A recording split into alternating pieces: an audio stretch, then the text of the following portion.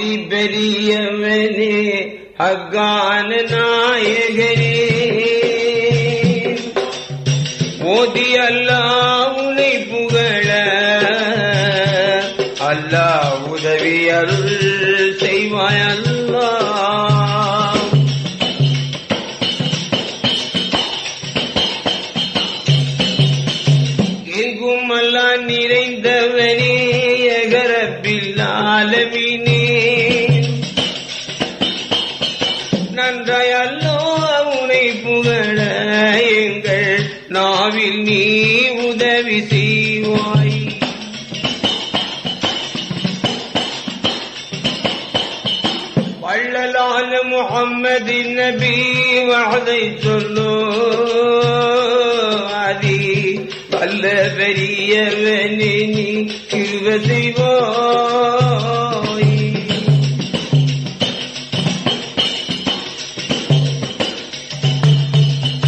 நபி முகம்மதின் முஸ்தபா ரசூலே கரீம் அவர்களுடைய தலைமுறையில் இன்றும் இருபத்தி மூன்றாவது தலைமுறையில மாணிக்கப்பூர் என்று சொல்லக்கூடிய சிறப்பு வாய்ந்த நாட்டில சையதினா ஹசன் குத்தூஸ் என்று சொல்லக்கூடிய அவர்களும் சையதினா பாத்திமா என்று சொல்லக்கூடிய அந்த தாய் அவர்களும் இரண்டு பேர்களும் நீர்வளம் தெரிந்த நாடி நிலவளம் தெரிந்த நாடி. மாவளம் தெரிந்த நாடு தெரிந்த நாடு. மாணிக்க பூர்வாதிலே அவர்கள் மனமு வந்து வாழ்ந்து வந்தாங்க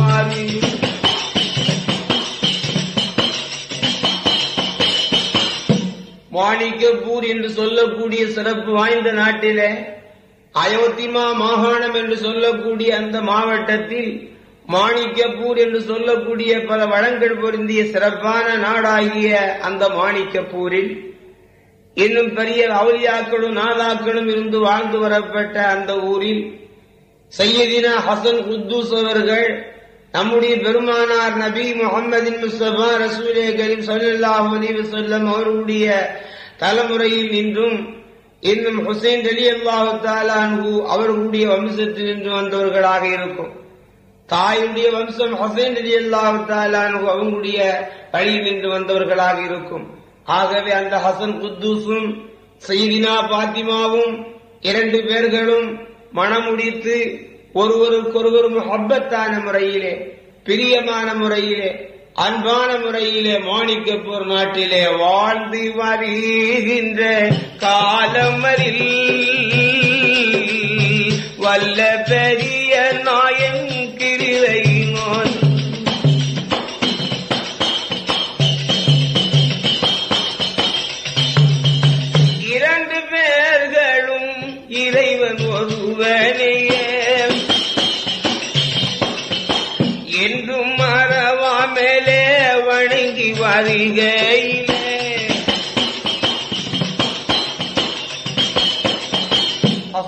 ரசூல் செய்தினா பாத்திமா இரண்டு பேர்களும் இறைவின் மீது ஒரே நாட்டமாக ஒரே பக்தியாக அவர்கள் பாசத்தோடு வாழ்ந்து வரக்கூடிய காலத்தில் அவங்களுடைய மனதில் நினைக்கின்றார். இந்த உலகத்தின் கண்ணில் நாமளுக்கும் நல்ல ஓர் அவுலாது பிறக்க வேண்டும் நல்ல ஓர் மக்கள் சம்பத்து கிடைக்க வேண்டும் என்று இரண்டு பேர்களும் மனமு வந்தவர்களாகத்தானே இறைவனே நாடி இருக்கின்ற பொழுது ஒரு நாள் அன்றி இரண்டு பேர்களும் அவர்களுடைய இல்லத்தில் இன்புற்று நித்திரியாகி கொண்டிருக்கக்கூடிய நேரத்தில் எல்லாம் அல்லாஹு ஜல்லத்தானு தாலா ஆண்டவன் இந்த உலகத்தின் கண்ணில் கடைசியாக இந்த ஜமான் குத்துபாக சையதினா ஷாவு ஹமீது பாதிஷா அவர்களை இந்த உலகிற்கு அவதாரமாக்க வேண்டும் என்று அந்த அன்னையாகிய சையதினா பாத்திமா அவர்களுடைய வயிற்றில் அல்லாஹு தாலா ஆண்டவன் அமலாக்கி வைக்கின்றான். கர்ப்பமாக வாய்க்கு வைக்கின்றான். அவர்கள் கரித்தருத்த கரு அன்று இரவு அந்த பாத்திமா நித்திரையாக இருக்கக்கூடிய நேரத்தில் அவர்களுடைய மினாமயத்தில் ஹலர் நபி அலை சலாத்து வசலாம் தரிசனமாகிடுவார். போற்றி புகழ்ந்தீடுவார் பத்தினியார் பாத்திமாவை நற்சொதி சொல்லிடுவான்.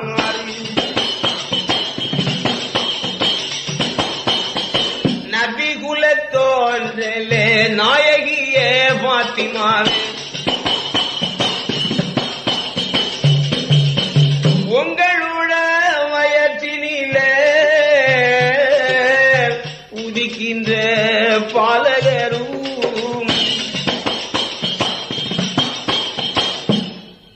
நபி அலே சொலாத்து வசலாம் மினாமியத்தில் தோன்றி சொல்லுகின்றார். நன்மாராயம் கூறுகின்றார். பாத்திமாவே நபி குலத்தில வந்தவர்களே தாங்களுடைய வயிற்றிலே ஆண்டவன் அமலாக கருவாக தரித்து வைத்திருக்கின்ற இந்த குழந்தை இந்த உலகத்தில் பிறந்தால் அவர்களுக்கு அப்துல் காதிர் என்பதாக பெயர் சூட்ட வேண்டும் என்று பிரியமுடன் சொல்லி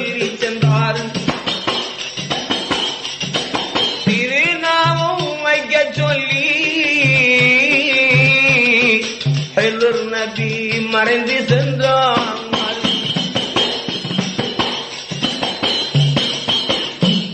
கொல்லர் நபி அலி சலாத்து வசலாம் மினாமியத்தில் தோன்றி இந்த நர்மாராயத்தை சொல்லி அவர்களுக்கு இவ்வாறு பெயர் நாமம் சூட்ட வேண்டும் என்று சொல்லி மறைந்து சென்றார்கள். சென்றவுடனே படுத்திருந்த சைதுனா பாத்திமா தானே முழித்து தன்னுடைய கணவரை எழுப்பி தான் கண்ட கனவானதை கணவருக்கே சொல்லிடுவாரே. இரவில் கண்ட கனவை சொல்லி அவர்கள் இறைவனை புகழ்ந்திடுவாங்க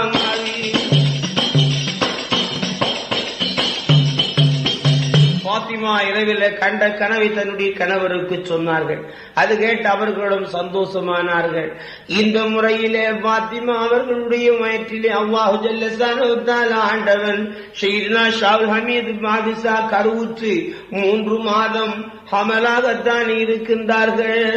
மூன்றாவது மாதத்தில் இன்னும் அந்த ஹசன் குத்தூஸ் என்று சொல்லக்கூடிய அவர்களுக்கு திரேக சௌக்கிய நல குறைவுதானே ஏற்பட்டு நாளுக்கு நாள் அவர்களுடைய திரேக நலம் குன்றி மிக்க வருத்தத்தோடும் வேதனையோடும் என்ன செய்தினா ஹசன் குத்தூசாக கூடியவர்கள் படுத்த படுக்கையாக இருக்கின்ற காட்சியை கண்ட அந்த பாத்திமா என்று சொல்லக்கூடிய தாய் அவர்கள் தன்னுடைய கணவரை கண்ணாலே கண்டிடுவார் கண்ணீர் வடித்திடுவார்.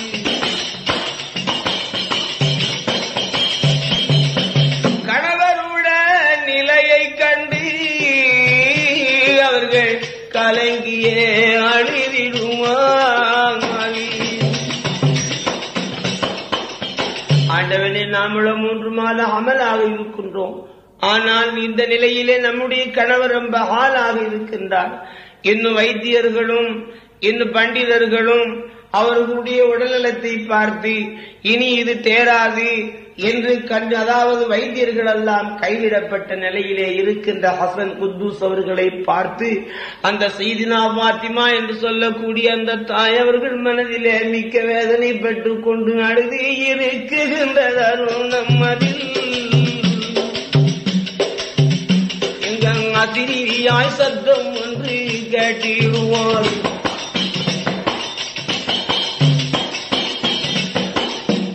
கணவருடைய நிலையை கண்டு அழுதிருக்கக்கூடிய நேரத்தில் அந்த பாத்திமாவுடைய காலுக்கு கேட்கும்படியாக ஒரு சத்தம் கேட்கின்றது.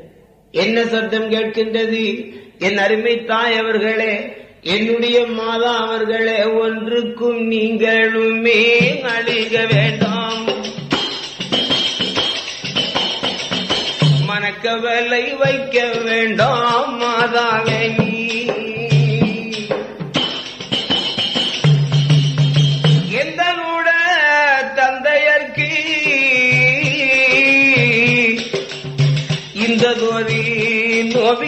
அறியாமல்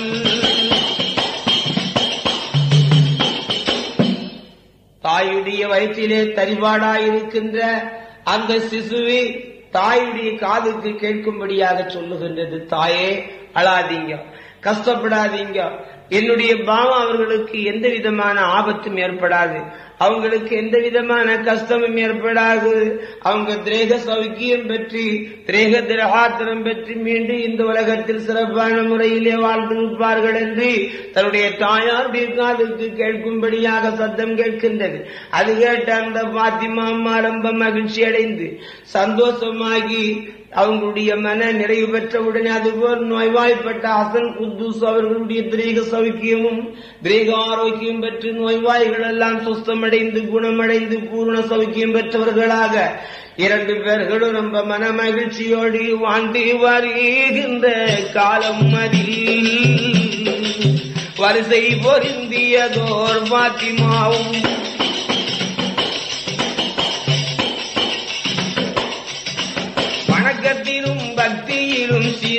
சிறந்தவர்கள்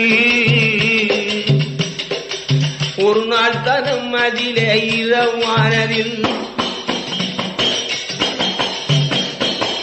செய்தினா பாத்திமா அவர்கள் சதா எந்த நேரமும் இறைவனுடைய பக்தி ஆண்டவனுடைய வணக்கம் எந்த நேரமும் அவங்க இறைவனுடைய நாட்டம்.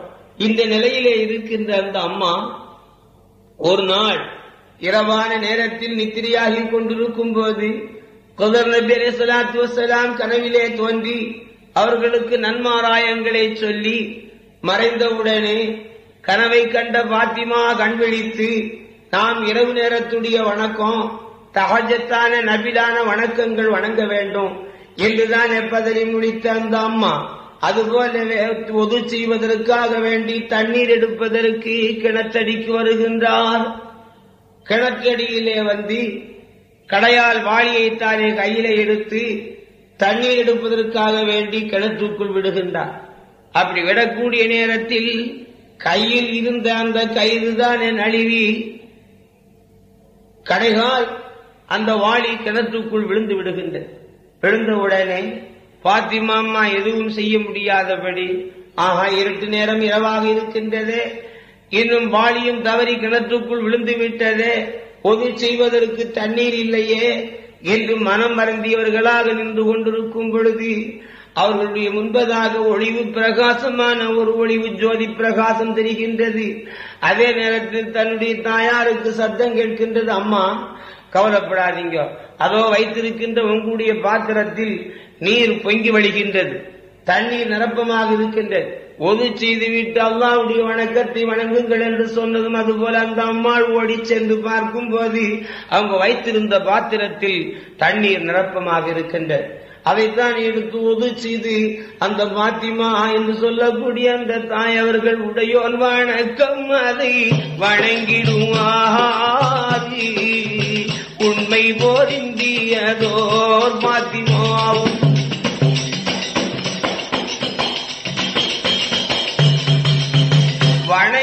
வருகின்ற காலம் அதில்.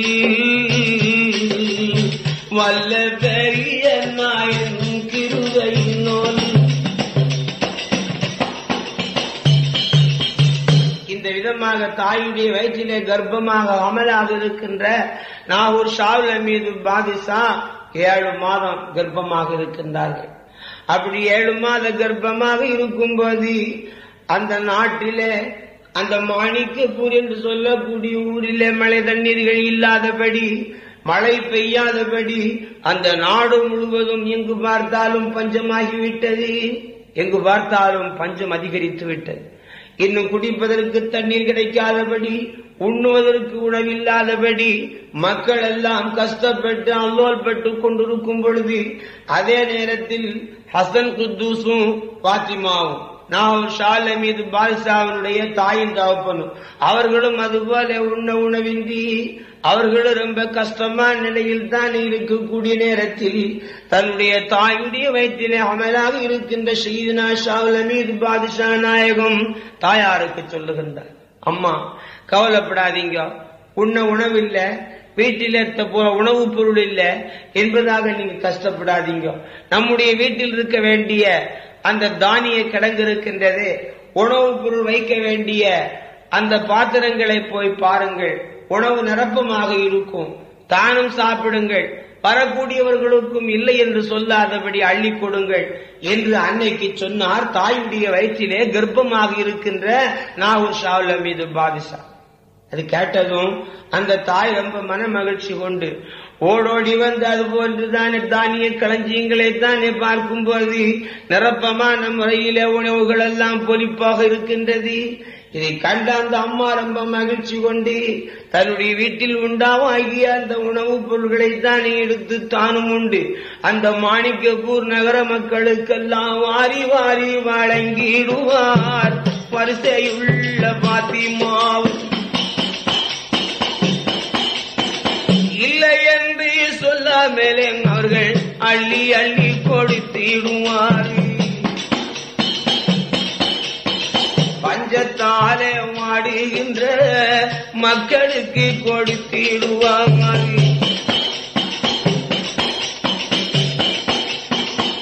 மாணிக்கப்பூர் நகர மக்கள் எல்லாம் பஞ்சத்தால உணவில்லாதபடி கஷ்டப்பட்டு கொண்டிருக்கக்கூடிய மக்களுக்கெல்லாம் அள்ளி அள்ளி கொடுக்கின்றார்கள்.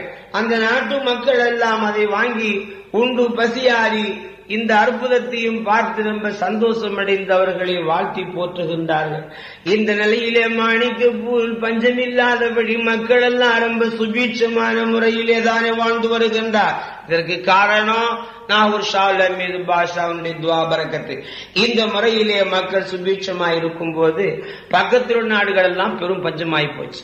அதே நேரத்தில் பாஷா நாயகன் தாயுடைய வயிற்றில ஒன்பது மாத ஹமல் ஒன்பது மாத நிரப்பமாக அமலாக இருக்கின்ற பொழுது பக்கத்து நாட்டிலே உள்ள திருடர்கள் எல்லாம் ஒன்றாக கூடி இன்றைக்கு மாணிக்கப்பூருக்கு சென்று மாணிக்கப்பூர் நகர மக்களுடைய வீடுகளிலே கொள்ளையிட்டு வர வேண்டும். கொள்ளை அடிக்க வேண்டும்.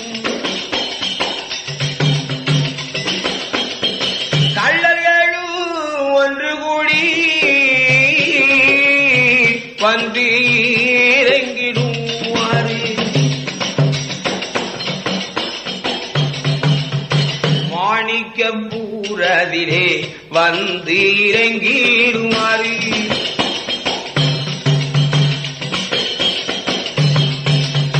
பக்கத்தில் உள்ள திருடர்கள் எல்லாம் ஒன்றாக கூடி மாணிக்கபூர் நகர மக்களுடைய பொன்பொருளை எல்லாம் கொள்ளையடிக்க வேண்டும் அபகரிக்க வேண்டும் என்று வந்து கூடினார். அதே போன்று கூடியதும் ஷெய்துனா ஷாவுல் அமீது பாதுஷா நாயகம் அவங்களுடைய தாயுடைய வயிற்றில ஒன்பது மாதம் அமலா இருக்காங்க. கொள்ளை கூட்டத்தாரை கண்டது அந்த ஊர்ல உள்ள ஜனங்கள் எல்லாம் என்ன நினைக்கின்றார்கள்? ஆஹா கொள்ளை கூட்டத்தார்கள் வந்து விட்டார்களே நம்முடைய பொன்பொருள்களை எல்லாம் அபகரித்துக் கொண்டு போய்விடுவார்களே என்று பயந்து அவரவருடைய வீடு வாசல்களை எல்லாம் அடைத்து சிக்கார் செய்து அவருடைய பொன்பொருள்களை எல்லாம் பாதுகாப்பான முறையிலே வைத்துக் கொண்டிருக்கின்றார்கள்.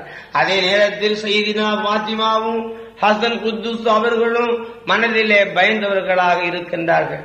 அதே நேரத்தில் அல்லாஹு ஜல்லசானு தாலா ஆண்டவனுடைய ஒரு கிருபையை கொண்டு அவனுடைய குதிரத்தை கொண்டு தாயுடைய வயிற்றிலே அமலாக இருக்கின்ற ஷெய்துனா ஷால் ஹமீது பாதிஷா அவங்களுடைய தாயாருக்கு முன்பதாகத்தானே வந்து நின்று வணங்கி சொல்லுகின்றார்.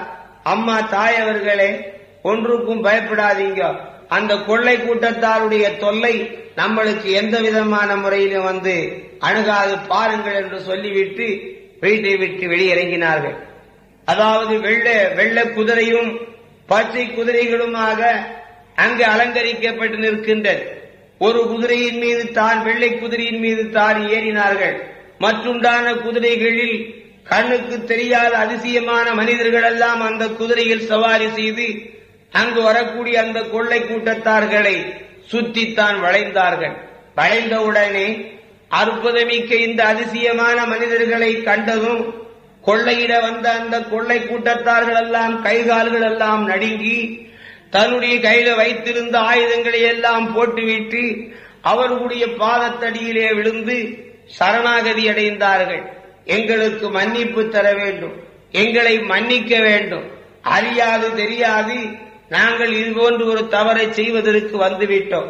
என்று ஷாவுல் ஹமீது பாதுஷாவும் அவர்களோடு அமர்ந்திருக்கின்ற மற்றவர்களுடைய முன்னிலையிலே மண்டியிட்டு மன்னிப்பு கேட்டார்கள் மன்னிப்பளித்தார்கள். ஆகவே அவர்களெல்லாம் விடுதலை பெற்றுக் கொண்டு அந்த ஊரை விட்டே ஓடினார்கள். ஆகவே அவர்களுடைய கொள்ளை கூட்டத்தார்களுடைய தொல்லை நீங்கியதும் மீண்டும் தாயுடைய முன்னணியிலே வந்த செய்தினா ஷால மீது பாஷா நாயகம் தாய்க்கு தலைவணங்கினார். கண்முன் நின்ற காட்சி மறைந்தது. ஆகவே இந்த விதமாக தாயுடைய வயிற்றிலே ஒன்பது மாத அமலாக இருக்கின்ற செய்தினா ஷாரு ஹமீது பாதிஷா நாயகம் ரொம்ப சிறப்பான முறையில் தானே தாயுடைய வயிற்றில் அமலாக இருக்கும் போது இன் அந்த ஊரில் உள்ள ஜனங்களும் அந்த நாட்டில் உள்ள மக்கள்கள் எல்லாம் இந்த அதிசயமான அற்புதமான குழந்தை என்றைக்கு இந்த உலகத்தில் பிறக்கிறதோ என்று எண்ணி பார்த்து இருக்கின்ற தருணம் அதில்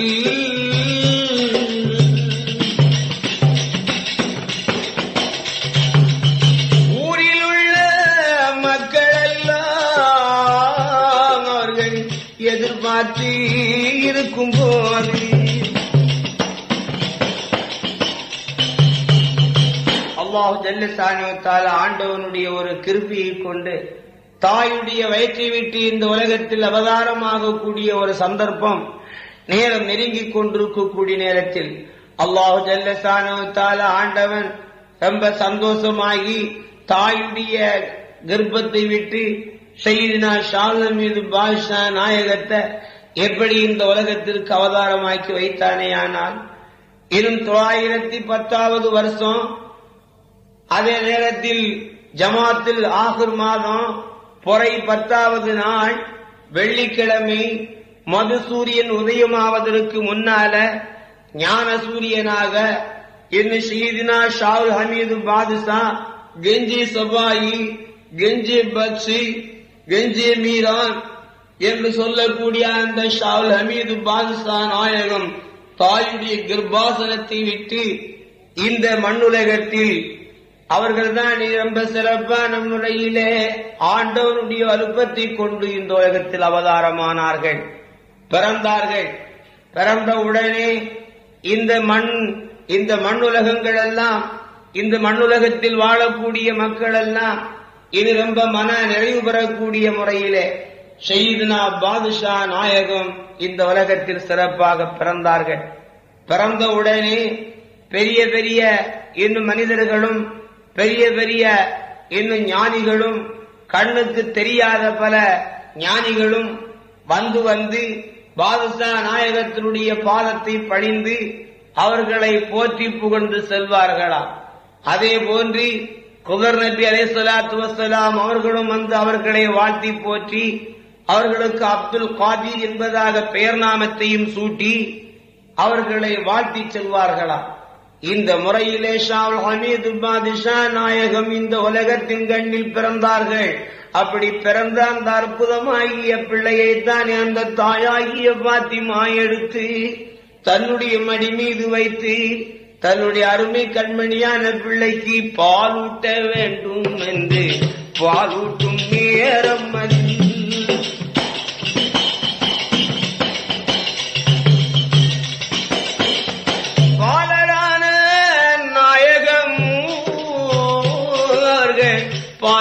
பால் மறுத்துவிட்டார்கள்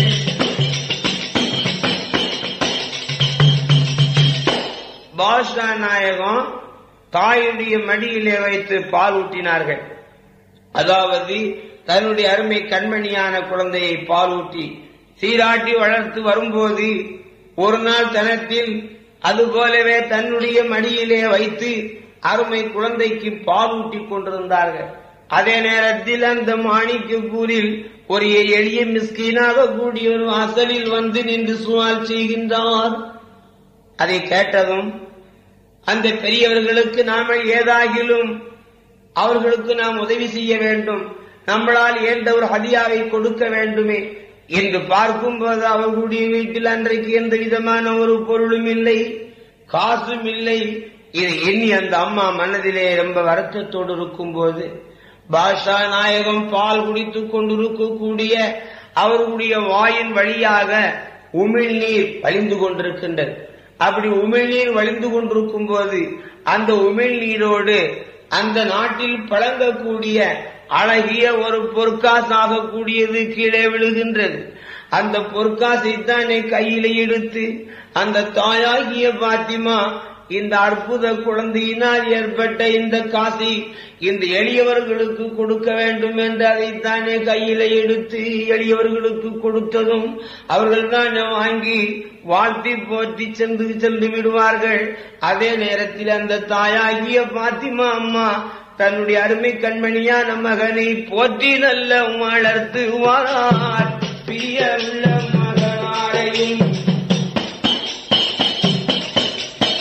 வாழ்த்துவாரும் நாளையிலே வல்லருட இருவையினால்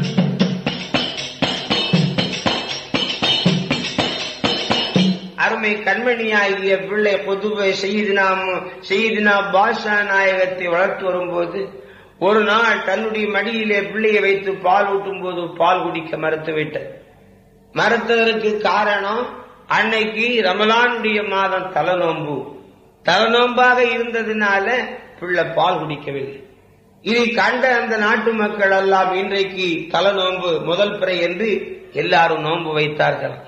ஆகையினால் அருமை பெரியோர்களே தாய்மார்களே அதாவது அவுலியாக்களும் பெரிய பெரிய நாதாக்களும் அல்லாவுடைய ஒரு பக்தியை அல்லாவுடைய ஒரு அச்சத்தை எந்த அளவிற்கு அவங்களுடைய மனதிலே கொண்டு இறைவனுடைய வணக்க வழிபாடுகளை செய்திருக்கிறார்கள் என்று இந்த சரித்திர வரலாறுகள் சொல்லுகின்றது பாலர் நாயகம் ஒரு வயசு பிள்ளையாக இருக்கின்ற பொழுதே ரமதானுடைய நோன்பை பிடித்திருக்கிறார்கள் என்று சரித்திரம் சொன்னா நாம எந்த அளவுக்கு அந்த பொருளான காரியத்தை நிறைவேற்ற வேண்டும் என்பதை பற்றி எண்ணி பார்க்க வேண்டும். பாலர் நாயகம் அருமை கண்மணி ஆகிய ஷீதுனா பாஷா நாயகம் பிறந்த ஒரு வயது பிள்ளை ரமலானுடைய நோன்பை நோற்றிருக்கிறார்கள் என்று சரித்திரம் சொல்லுகின்றது.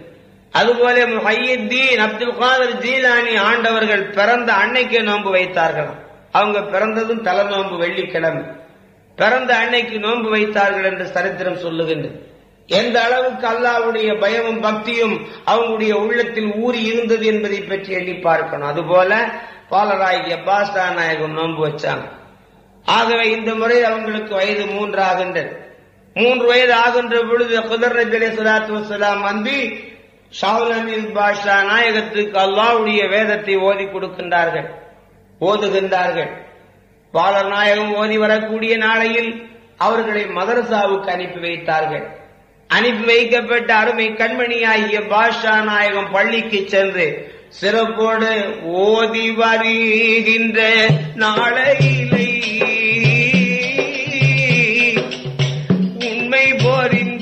போரிந்தியதோர் பொதுபலியும்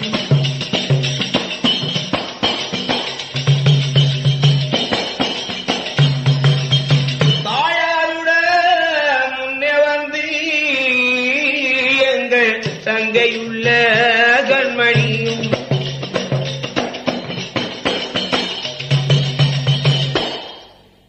தாயாருடைய என்பதாக ஓடி வந்து அருமை கண்மணியான பிள்ளை சொல்லுகின்றது அம்மா எனக்கு பசி அதிகமாக இருக்கின்றது உண்பதற்கு உணவு வேண்டும் என்று கேட்டாங்க அப்படி கேட்கும் பொழுது அந்த தாயாகிய பாத்திமா அம்மா அல்லாவுடைய வணக்கத்தை முடித்து விட்டு நம்முடைய பிள்ளை அவசரமா வந்துவிடும் அவங்களுக்கு உணவு தயார் செய்ய வேண்டும் என்று எல்லாம் தயாரா வச்சிருக்காங்க ஆனா சமைக்கல. இந்த முறையிலே பிள்ளை உணவு கேட்டதும் நாம என்ன செய்ய போறோம்? பிள்ளை உணவு கேட்க இன்னும் தயாராகவில்லையே என்று எண்ணும் போது பாஷா நாயன் சொன்னாங்க அம்மா கவலைப்படாதீங்க. எல்லாத்தையும் அள்ளி அந்த பானையிலே போட்டு திறந்து பாருங்கள் என்று சொன்னான். அதுபோல அந்த உணவுப் பொருள்களை எல்லாம் போட்டு தீயை மூட்டி அவர்கள் அந்த பாத்திரத்தை திறந்து பார்க்கும் பொழுது சாப்பிடுவதற்கு பக்குவமான முறையிலே உணவுகள் பொலிவுற்றிருக்கின்றன. இதை கண்ட அந்த அம்மா அதிசயப்பட்டு அந்த அதிசயமான உணவை தானே எடுத்து கொண்டு வந்து தன்னுடைய பிள்ளைக்கு கொடுத்து பசி தீர்த்து அவர்களை சிறப்பான முறையிலே பள்ளிக்கு அனுப்பி வைத்தார்கள். இப்படி பாலநாயகம் பிறந்த பொழுதே அவர்கள் பல அற்புதங்களை செய்து காட்டினார்கள். அது மட்டுமல்ல இப்படி பள்ளி பருவமாக இருக்கின்ற பொழுதும் பல காரணங்களையும் கராமாத்துகளையும் செய்து காட்டினார்கள். அப்படி காட்டியிருக்கின்ற பொழுது பாதுஷா நாயகம் அவர்களுக்கு வயது பதினெட்டாகின்றது. பதினெட்டு வயது பூர்த்தியாகின்ற பொழுது பாதுஷா நாயகம் அவர்களுக்கு அல்லாவுடைய ஒரு ஞானமும் அல்லாவுடைய ஒரு பயமும் பக்தியும் அவங்களுடைய உள்ளத்தில் ஏற்பட்டதும் ஹதர் நபி அலிசல்லாத்து வசலாம் அவர்களுடைய தரிசனம் பெற்றதும் இல்யாஸ் நபி அலிசல்லாத்து வசலாம் அவங்களுடைய வாயில் உமிழ்நீர் அவர்களுடைய வாயில் பட்டதும் அவங்களுக்கு ஞானம் உதயமாகிவிட்டது. அந்த ஞானத்தினுடைய தன்மையினால் பாஷா நாயகம் தாயாரை பார்த்து சொல்லுகின்றார். என் அருமை தாய் அவர்களே இந்த உலகத்தில் நாம் எப்படி பிறந்தோம்? நாம் எங்கே போய் சேரப் போகின்றோம்? என்ற கேள்வியில் தான் இந்த உலகம் இருந்து கொண்டிருக்கின்றது.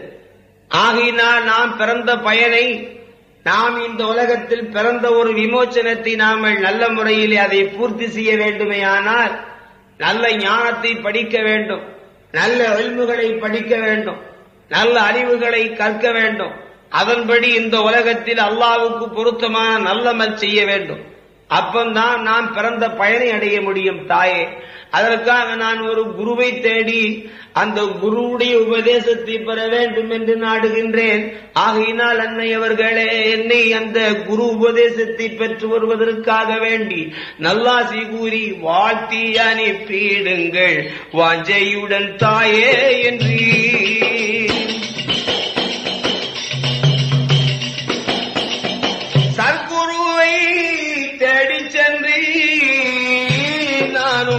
நானும் நற்பயன்கள் பெறவு வேண்டும்.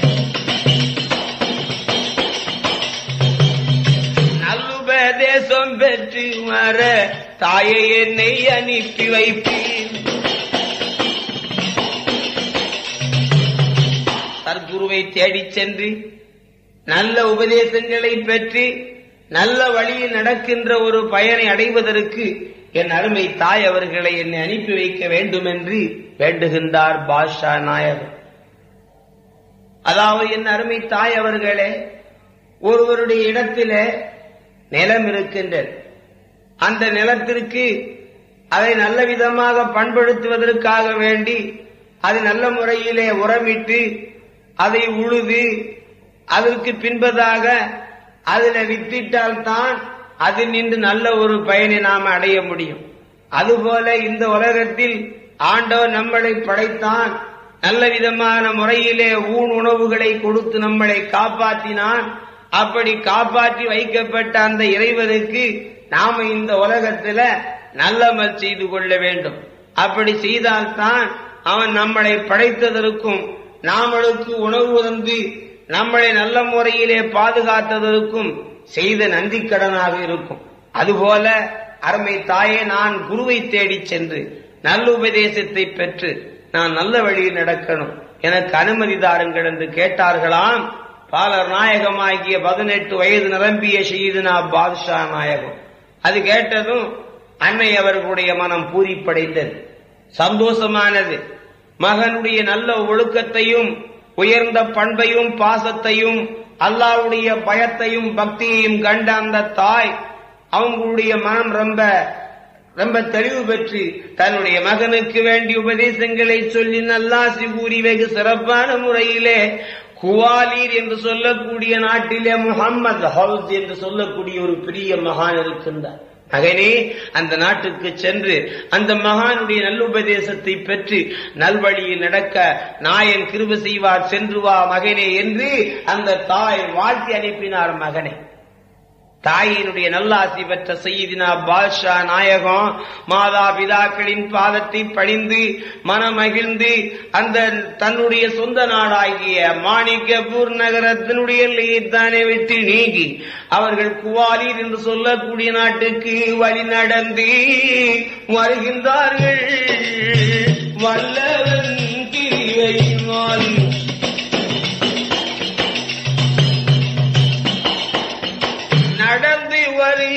இந்த தருணம் அதில் நாயகர் பாதுஷாவின் முன்பதாக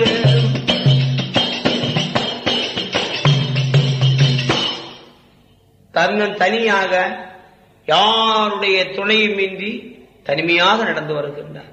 அப்படி வரக்கூடிய நேரத்தில் அதாவது பயங்கரமான காட்டுக்குள் சென்று கொண்டிருக்கும் பொழுது ஒரு வேங்கை புலி குறுக்கிடுகின்றது. அவர்களுடைய பாதத்தை பணிகின்றது.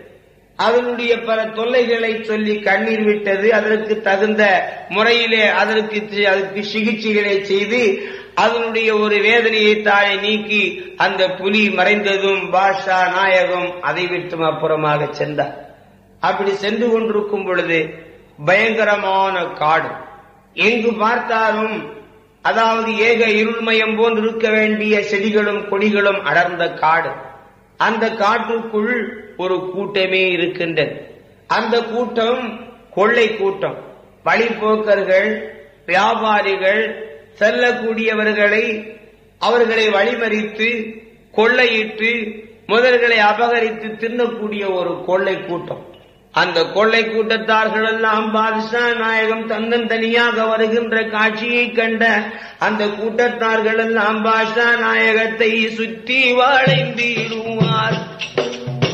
கொள்ளை கூட்டத்தார்கள்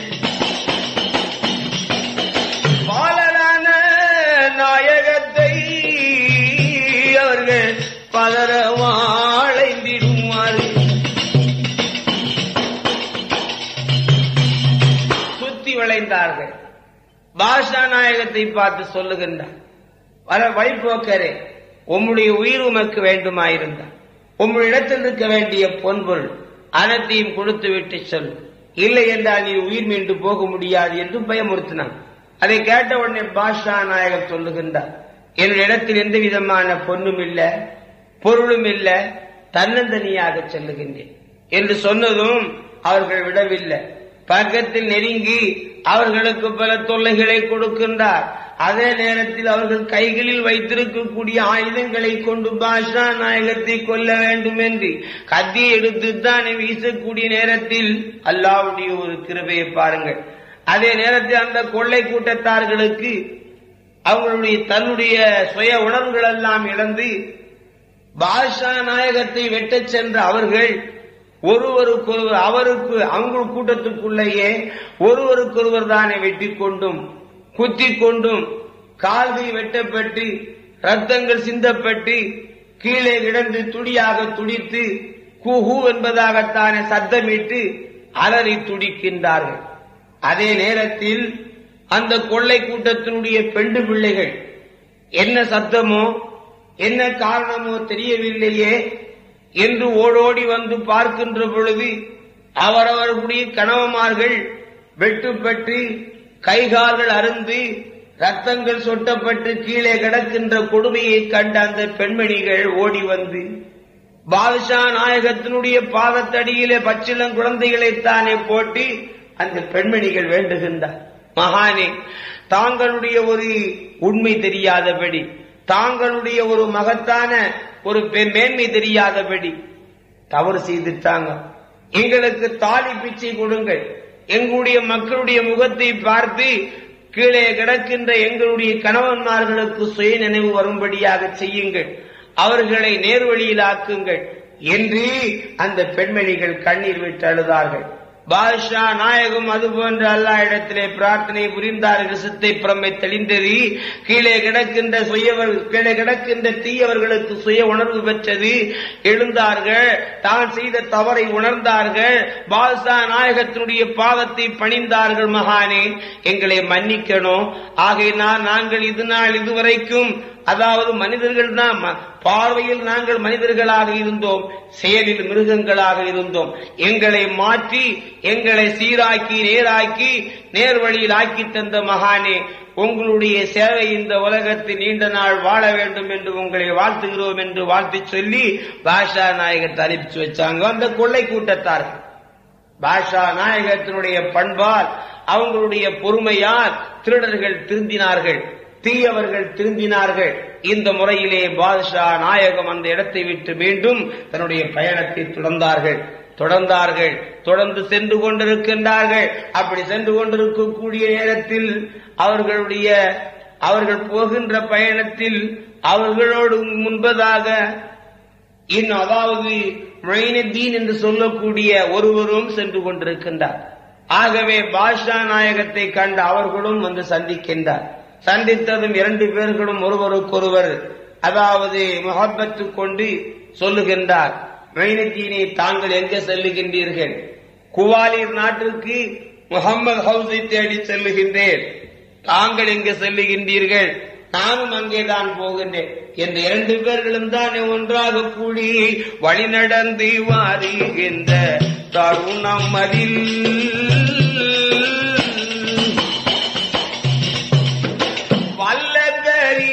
நாயன் கிருவை நாள். பகலெல்லாம் நோம்பாகவே எங்கள் பாலரான வாங்கி ரெண்டு பேருமே நோம்பு பாஷா நாயகமும் நோம்பு அந்த மழைநீன் அவர்களும் நோம்பு பகல். இந்த விதமா நோம்பாக போய் கொண்டிருக்கக்கூடிய அவங்க அந்தி பொழுதாய் போச்சு. நோன்பு துறக்க வேண்டிய நேரம் வந்தது. எந்தவித உணவும் இல்லை உணவு பொருளும் இல்லை. அல்லாவுடைய குதிரத்தை கொண்டு அவர்களுக்கு அங்கு சிறப்பான உஜீவனம் இறங்கப்படுகின்றது. அல்லாவுடைய குதிரத்து கொண்டு இறங்கப்பட்ட அந்த நல்லுணவை கொண்டு இரண்டு பேர்களும் நோன்பு திறந்தார்கள். நோன்பை நோன்பு திறந்து அவர்கள் நல்ல விதமாக பசியாறி இறைவனுடைய வணக்க வழிபாடுகளை செய்து அங்கே தங்கி இருக்கின்றார்கள் அப்படி தங்கி இருக்கின்ற அந்த இரண்டு பேர்களும் மீண்டும் அன்றிரவை கழித்து மறுநாள் காலையில் அதுபோன்று பயணத்தை தொடர்ந்தார்கள். தொடர்ந்து வரக்கூடிய நேரத்தில் வழியிலே பெரிய ஒரு காட்டு ஆறு வெள்ளம் கரை புரண்டுதானே ஓடுகின்றது. ஆனால் அப்படி பெரிய காட்டாற்றில கரை புரண்டு வெள்ளம் ஓடுகின்றது. அதை கடந்தால் தான் அக்கறை போக முடியும்.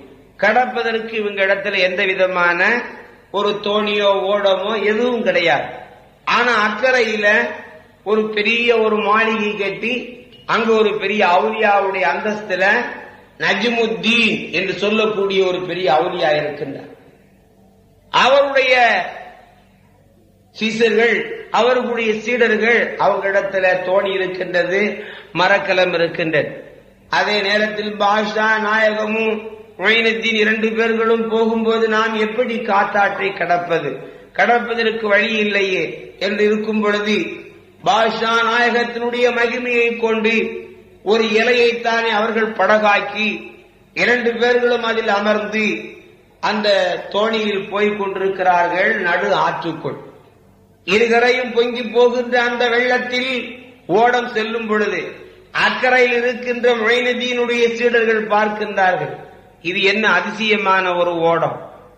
ஆற இலையை போன்று ஒரு இலையை போட்டு இந்த விதமாக ஓட்டிச் செல்லுகின்றார்களே வருகின்றார்களே என்று பாதுஷா நாயகத்தை பார்த்த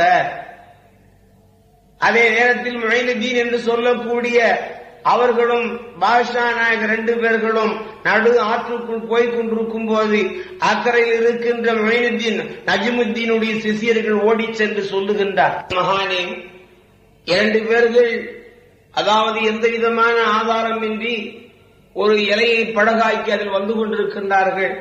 தாங்களை விட பெரிய ம- மகா சிறந்தவர்கள் என்று சொல்லும் பொழுது மொயினுத்தீன்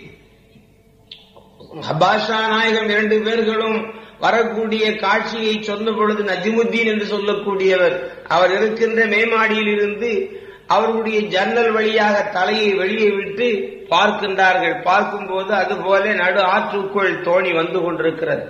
அதை கண்டதும் அவருடைய ஒரு கராமாத்தை கொண்டு தோணியை கவிழ்ப்பதற்கு அவருடைய சக்தியை பிரயோகம் செய்தார். அந்த தோணி அலைமோதக்கூடிய நேரத்தில் பாஷா நாயகம் பார்த்தார்கள்.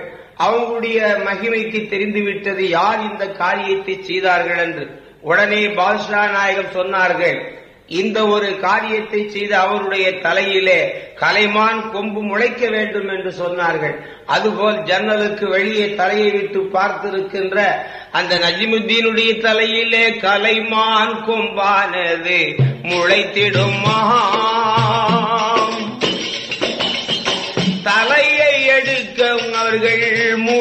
முடியாமலே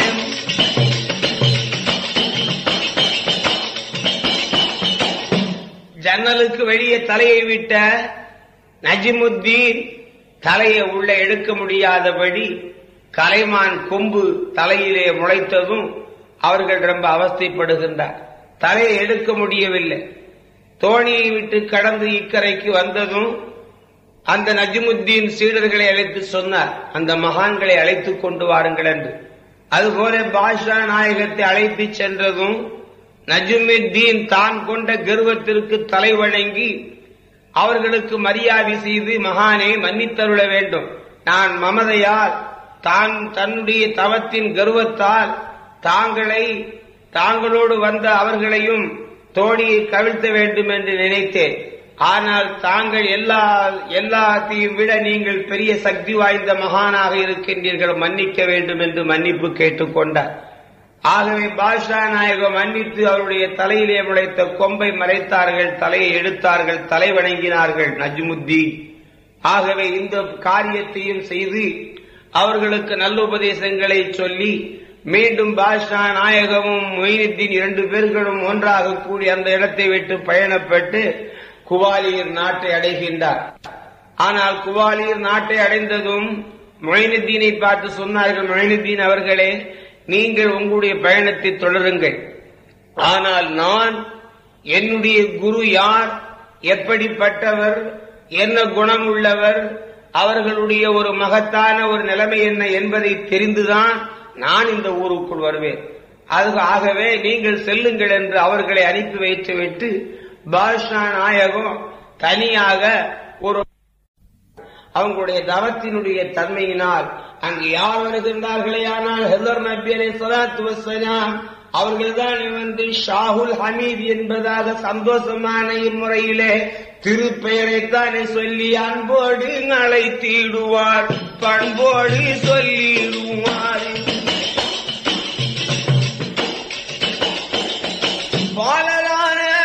அல்லாஹுல் ஹமீதே உங்கள் தவத்தை நீத்திருங்கள்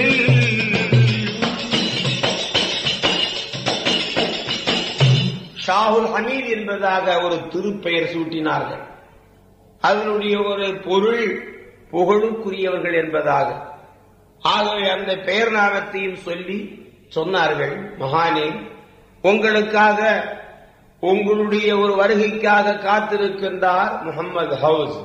அவர்கள்தான் உங்களுடைய ஞான மகான். உங்களுக்கு நல்ல உபதேசம் சொல்லக்கூடியவர்கள் என்று சொல்ல அதன்படி கேட்டு அந்த நாட்டுக்குள் நடந்தார்கள். அதுபோலவே முகமது ஹவுஸ் என்று சொல்லக்கூடிய மகானும் சீடர்களும் பாதுஷா நாயகத்தினுடைய வருகையை தானே கண்டு அவர்களை எதிர் சென்று அன்போடு தானே வரவேற்பு செய்து வருக வருக என்று வாஞ்சையோடு அழைத்திடுவார்.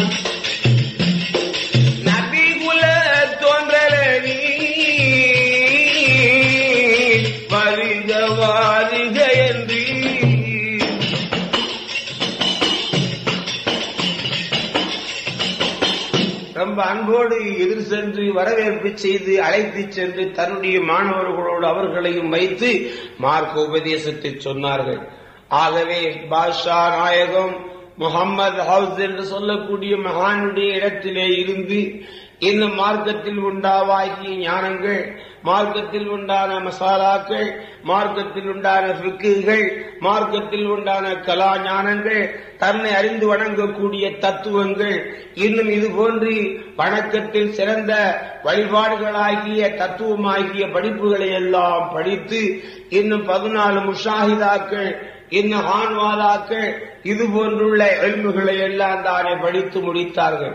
அத்தனையும் படித்து முடித்த ஞான மகானுடைய அறிவும் அவர்களுடைய ஞான உபதேசமும் பயமும் பக்தியும் புகழும் அவர்களுடைய நிலையெல்லாம் கண்ட முகம்மது ஹவுஸ் மட்டில்லா மனமகிழ்ச்சி கொண்டு அவங்களுடைய வணக்கத்தையும் பக்தியையும் பார்த்த மகான் ரொம்ப மனதிலே ரொம்ப கருணை பொங்கி அவர்களை தனியாக அழைத்து சென்று இன்னும் பல மறைவான தத்துவமான விஷயங்களை எல்லாம் அவர்களுக்கு சொல்லிக் கொடுத்தார்களா முகம்மது ஹவுஸ்.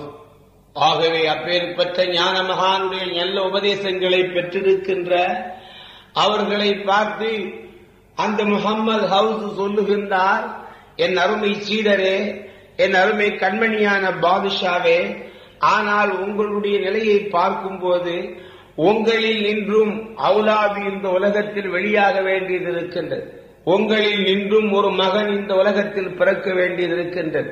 ஆகையினால் நீங்கள் கல்யாணம் செய்து கொள்ள வேண்டும். ரசூலுல்லாவுடைய சுண்ணத்தை நீங்கள் பேணிக் கொள்ள வேண்டும் என்று சொன்னான்.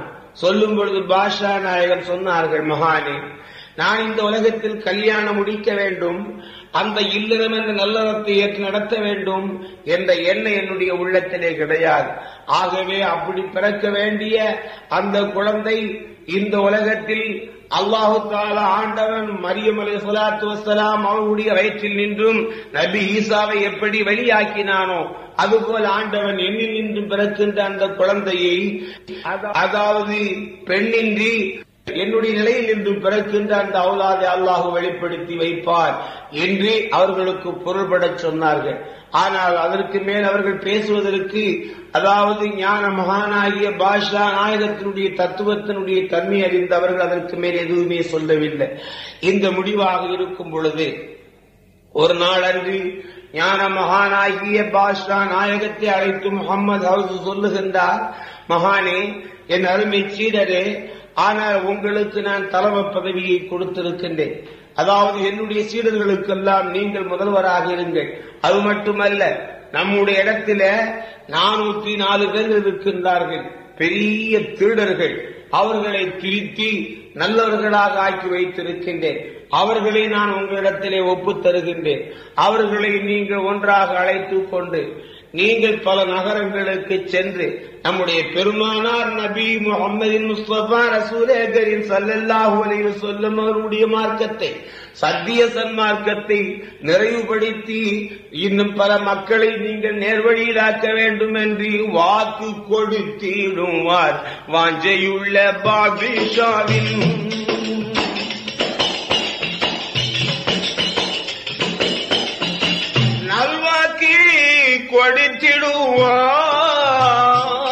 கொடுத்திடுவார் எங்கள் ஷாகுல் ஆமிதொலிக்கு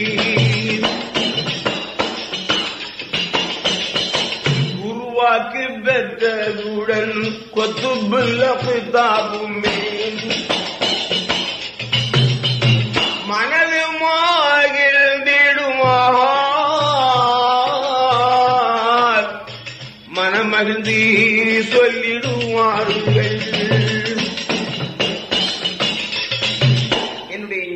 மகானே உங்களுடைய உபதேசமும் உங்களுடைய திருவாக்கும் எனக்கு கிடைத்து விட்டது நான் திருப்தி அடைந்தேன். ஆகையினால் தாங்களுடைய உத்தரவின்படி அதுபோலவே சென்று நான் தீனை பரப்புவதற்கும் இஸ்லாத்தை வளர்ப்புவதற்கும் நான் பல நாடு நகரங்களுக்கு சென்று அதுபோன்று நல்லுபதேசங்களை செய்து வருகிறேன் என்று அவங்களுடைய வாக்கை பெற்றுக் கொண்டு நானூத்தி நாலு பேர்களையும் அழைத்துக் கொண்டு தன்னுடைய குரு முகமது ஹவுஸிடத்தில் பத்து வருடங்களாக இருந்து மார்க்கத்தை படித்துக் கொண்டு ஆக மொத்தம் பதினெட்டும் பத்தும் இருபத்தி எட்டாவது வயதிலே மீண்டும் தன்னுடைய நாட்டுக்கு திரும்புகின்றார். தன்னுடைய சொந்த நாடாகிய மாணிக்கப்பூர் நகரத்துக்கு வருகின்றார். வந்து அவர்களுடைய சொந்த இடத்தில் விடுதி விட்டு நானூத்தி நான்கு பேர்களையும் தானே வைத்து அவர்களுக்கு நல்ல பல உபதேசங்களை கற்றுக் கொடுத்து அவர்களை நான்கு பிரிவினர்களாகத்தானே பிரித்து நான்கு பேர்களை அதற்கு ஹலிபாவாக நியமித்து பாஷா நாயகம் அவர்கள் நல்லுபதேசங்களை சொல்லிக் கொடுத்து கொண்டிருக்கின்றார். தன்னுடைய மாதா பிதாக்களுடைய இல்லத்திற்கு சென்று மாதா பிதாக்களை கண்டு தன்னுடைய கல்வியும் ஞானமும் அறிவும் படிப்பும் இதையெல்லாம் பார்த்த தாயும் தந்தையும் மட்டில்லா மகிழ்ச்சி கொண்டு மகனை வாழ்த்தி போற்றி இருக்கும் பொழுது அந்த தாயுடைய ஒரு உள்ளத்தில் என்ன என்னவென்றால் அதாவது தன்னுடைய அருமை மகனாகிய ஷாவுல் ஹமீத் அவர்களுக்கு கல்யாணம் முடித்திடாமல் கண்ணாசை பார்க்க வேணும். மங்களம் முடித்தினாம் மகனை மனதார வாழ்த்த வேண்டும்.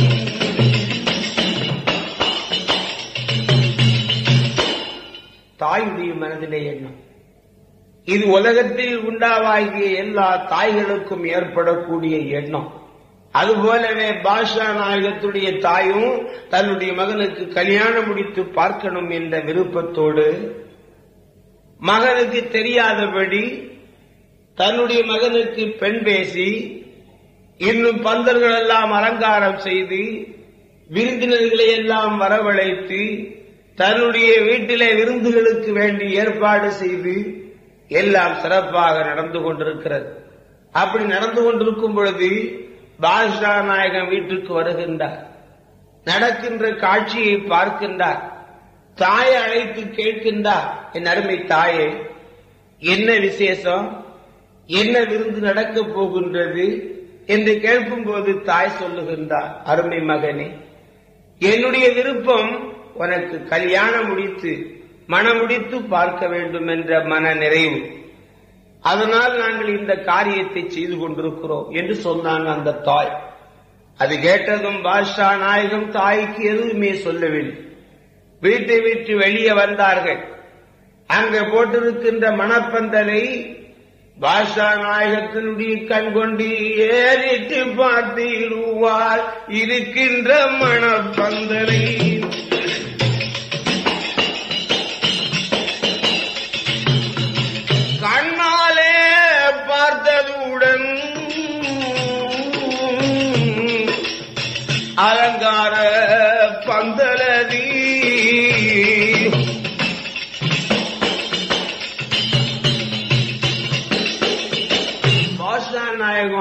மரப்பந்தலை ஏறிட்டு பார்த்தார்கள்.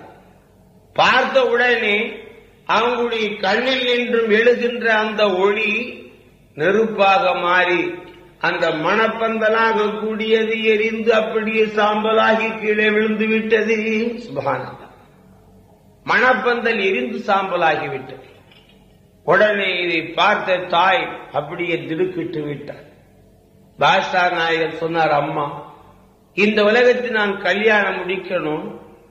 அதாவது இந்த உலகத்தில் க- கல்யாணம் முடித்து பெண்ணும் மாப்பிள்ளை என்ற முறையில் வாழணும் என்ற விருப்பம் எனக்கு இல்லை. ஆகையினால் மன்னிக்கணும் தாயே என்று தன்னுடைய தாயிடத்திலே மன்னிப்பு கேட்டுக்கொண்டு பாஷா நாயகம் தன்னுடைய இருப்பிடத்துக்கு வந்தார்கள்.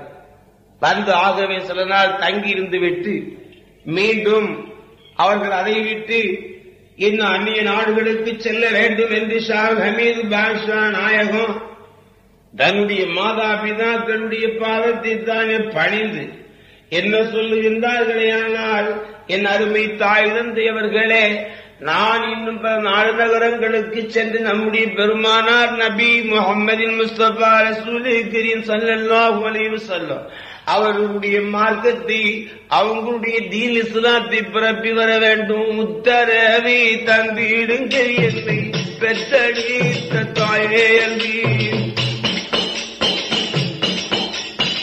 பாதம் பணிந்த அவர்கள் பணிவோடி கட்டிடுவார்கள்.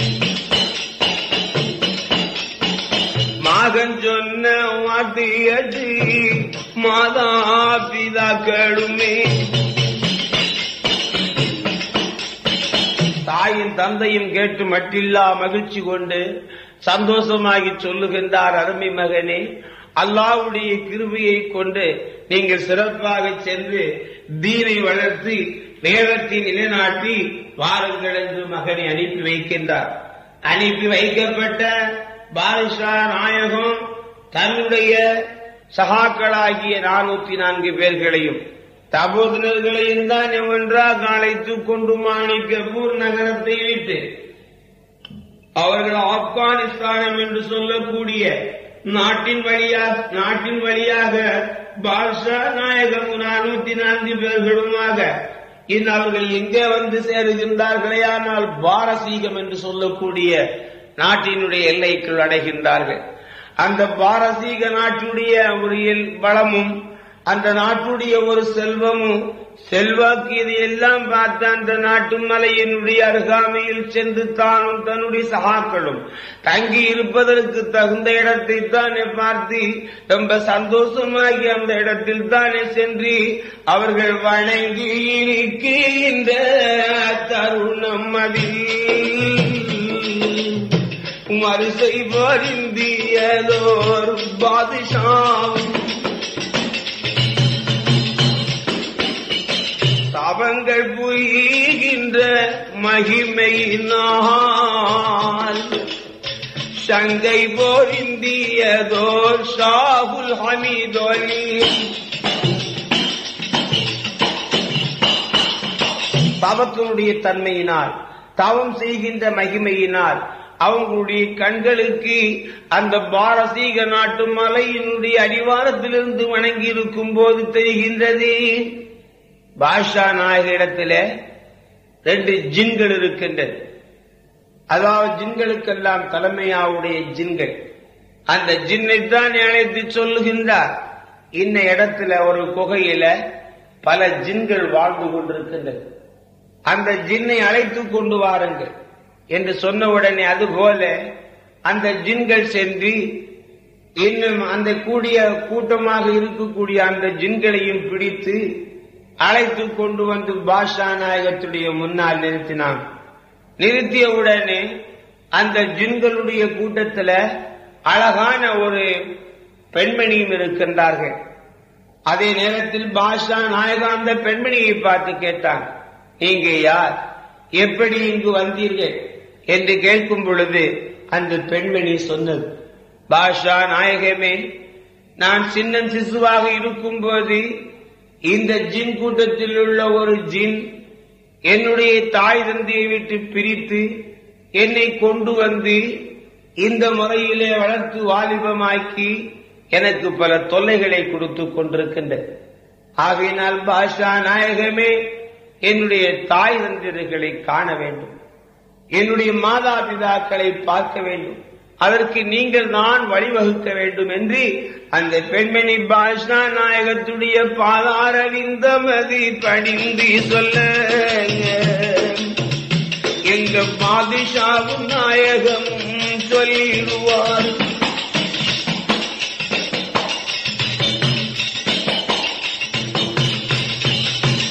பாஷா நாயகர் சொன்னாங்க அம்மா கவலைப்படாத. இனி உனக்கு எந்த கஷ்டமும் ஏற்படாது. என்று உடனே அந்த பெண்மணியை தானே பிடித்து தன்னுடைய பக்கத்தில் இருக்கின்ற அவங்களுடைய சகர் ஜின் என்று சொல்லக்கூடிய அந்த ஜின்னுடைய கையில கொடுத்து இவர்களை கொண்டு போய் அவங்களுடைய தாய் தந்தையருடைய இடத்திலே கொண்டு போய் சேர்த்துட்டுவாங்க என்று சொல்லும் பொழுது அந்த பிள்ளை சொல்லுகின்றது எங்களுடைய சொந்த நாடாக கூடியது பல்லவா என்று சொல்லக்கூடிய நாடாக இருக்கும். என்னுடைய தகப்பனாருடைய பெயர் ஹபீபு என்று சொல்லக்கூடியவர்கள். அவர்களுடைய மகள் நான். என்னுடைய பெயர் உம்மு ஹபீபா என்பதாக அந்த பெண் சொன்னது. ஆகவே அதுபோல இவர்களை கொண்டு அந்த பல்லவா என்று சொல்லக்கூடிய நாட்டிலே கொண்டு போய் சேர்த்து அந்த அரசரிடத்திலே ஒப்பு கொடுத்து அவர்களுடைய கையொப்பம் நீ வாங்கி வர வேண்டும் என்று தன்னுடைய சகர் ஜின்னுக்கு சொன்னார்கள். அதுபோலவே அந்த பெண்மணி அழைத்து கொண்டு போய் அந்த நாட்டிலே சேர்த்து அரசரிடத்திலே ஒப்பு கொடுத்து நடந்த விவரத்தை எல்லாம் சொன்னதும் அந்த பாதுஷா தன்னுடைய மகளை கண்டதும் மகிழ்ச்சி கொண்டு நடந்த விவரங்களை எல்லாம் கேட்டு தன்னுடைய கையினால் கையொப்பமிட்டு கையெழுத்தும் கொடுத்து அனுப்பி வைக்கின்றார். அதே போல அந்த ஜின் கொண்டு வந்து பாஷா இடத்திலே கொடுத்தது. அதை பார்த்தது ரொம்ப சந்தோஷமானார். அதே நேரத்தில் அந்த அந்த ஜின்களுக்கும் நல்ல உபதேசங்களை சொல்லி நல்ல உண்மையான கருத்துக்களை சொல்லி அதுகளையும் அனுப்பி வைத்துவிட்டு பாஷா நாயகமும் இன்னும் தன்னுடைய நானூற்றி நான்கு சீனர்களுமாக அந்த இடத்தை விட்டு அப்புறமாகத்தானே சென்று அந்த தெஹரான் என்று சொல்லக்கூடிய பட்டணத்துக்குள் வந்து இறங்கினார்கள் பாதிஷாவும். வரிசை பொருந்தியதோர் சீடர்களும் நானூத்தி நாலு பேரும் வந்திறங்கி படைத்த நாய பெரியவர தொழுதியிருந்தார்கள்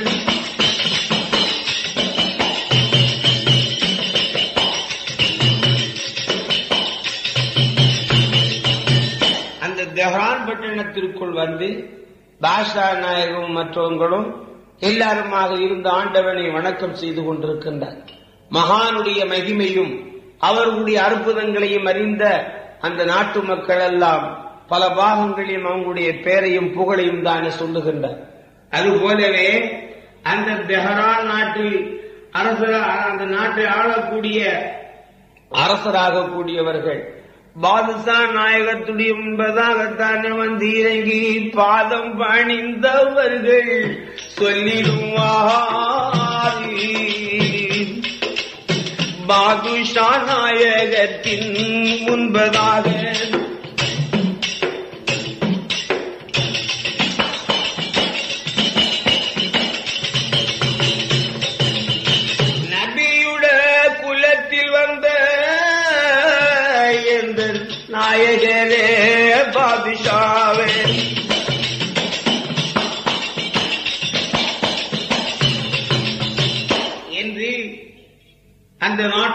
இருந்த ஆளுகின்ற அரசு பரம்பரையில் உண்ட உண்டாவாகிய அந்த அரசர் அங்கு சொல்லுகின்றார். என்ன சொல்லுகின்றார் மகானே? எனக்கு நீண்ட நாளாக ஒரு குறை இருக்கின்றது. அந்த குறை நீக்கும் பொருட்டு என்னுடைய இல்லத்திற்கு வந்து விருந்துண்ண வேண்டும் என்று விரும்பி அழைத்திடுவார்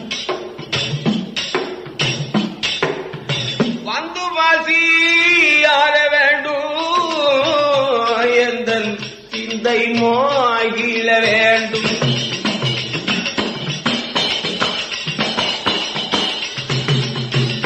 அரசு சொல்லுகின்றார் மகானே என்னுடைய இல்லத்திற்கு வந்து விருந்துண்ண வேண்டும். வந்து பசியாறி செல்ல வேண்டும். இதை நீங்கள் மனப்பூர்வமாக ஏற்றுக்கொள்ள வேண்டும் என்று அந்த மன்னர் சொல்லுகின்றார்.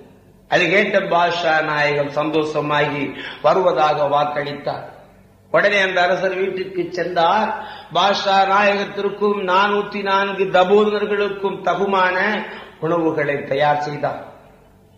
தயார் செய்து கொண்டு அவர்களை தானே மரியாதையோடு வந்து விருந்துக்கு அழைத்தார்கள் அதுபோலவே நானூத்தி நான்கு பேர்களும் ஷாவுல் ஹமீத் பாஷா நாயகமும் ஒன்று போலதானே அந்த இடத்தை விட்டு எழுந்தருளியாகி அந்த ஷாஹா என்று சொல்லக்கூடிய அரசருடைய வீட்டுக்கு சென்று அவங்களுக்காக அலங்கரிக்கப்பட்டிருக்கின்ற இன் அந்த தஸ்தர்களில் சென்று அமர்ந்தார்கள் நானூத்தி நான்கு பேர்கள். பாஷா நாயகத்திற்காக மாணிக்கம் மரகதம் என்று சொல்லக்கூடிய கற்களால் வேலைப்பாடுகள் அமைந்த உயர்ந்த தஸ்தரை தானே விரித்து அதன் மீது அவர்களை கொண்டு போய் அமரச் செய்தார் அந்த பாதுஷா. அதுபோல அமர்ந்திருக்கின்றார். இருக்கின்ற பொழுது எல்லாருக்கும் விருந்துகள் பரிமாறப்பட்டது. அப்படி பரிமாறக்கூடிய நேரத்தில் பாதுஷா நாயகத்துக்கு அந்த அரசனுடைய கைனால அழகான ஒரு பெரிய ஷகனில் ஒரு பெரிய தபத்தில் உயர்ந்த ஒரு துணியை கொண்டு மூடப்பட்ட அந்த தபக்கை கையில எடுத்துக்கொண்டு அந்த அரசரே பாஷா நாயகத்துடைய முன்னாலே வருகின்றார். அவர்கள் கையிலே கொண்டு வரக்கூடிய அந்த பாத்திரத்தை மூடி வைத்திருக்கக்கூடிய அந்த பொருளை இருக்கின்ற அனைவர்களும் பார்த்து கொண்டு இருக்கின்றார்கள். அரசருடைய கைனால் பாஷா நாயகத்துக்கு உணவளிக்க போகின்றார். ஆனால் கொண்டு போகக்கூடிய பாத்திரமோ ரொம்ப பெரிதாக இருக்கிறது. அதன் மீது அழகான பட்டாடை கொண்டு மறைக்கப்பட்டிருக்கிறது. அதற்குள்ள என்ன பொருள் இருக்கோ தெரியவில்லையே. என்று எல்லாரும் எதிர்நோக்கி இருக்கும் பொழுது அதுபோல பாஷா நாயகத்துடைய உண்பதாக கொண்டு போய் வைத்ததும் பாஷா நாயகம் அந்த மறைக்கப்பட்டிருக்கின்ற அந்த துணியை தானே நீக்கினார்கள். நீக்கிய உடனே அந்த ஷஹனில் வைத்திருக்க வேண்டிய பொருள் வேற ஒன்றுமல்ல. இந்த உலகத்தில் உண்டான எத்தனை நோய்கள் இருக்கின்றதோ அத்தனை நோய்களையும் பொருந்திய ஒரு பெண் பிள்ளை அதுல முடங்கி கிடக்கின்றது. பார்ப்பதற்கே ரொம்ப பரிதாபமான நிலை. பார்க்க முடியாத அந்த அளவுக்கு அந்த பிள்ளையினுடைய நோயும் அதற்கு ஏற்பட்டிருக்கக்கூடிய அந்த ஒரு நிலைமை. இதை கண்மணியான பாஷா நாயகம் கண்ணாலே கண்டு உடனே அவங்களுடைய வாயினால் தானே இஸ்மை சொல்லி ஒரு தண்ணீரை தானே எடுத்து ஓதி தெளித்தார்கள். தெளித்த உடனே அந்த பெண்மணியினுடைய வயதுக்கு தக்க வளர்ச்சியும் திரேக நலமும் திரேக ஆரோக்கியம் தான் புரிந்து பார்ப்பதற்கு ரொம்ப அழகான பெண்மணியாகத்தானே எழுந்து ஓடி சென்று பாஷா நாயகத்துடைய பாதத்தையும் பணிந்து தந்தையினுடைய பாதத்தை தான் வணங்கி நிற்கின்ற காட்சியை எல்லோரும் கண்டிடுவார் கண்டு புகழ்ந்திருவார்.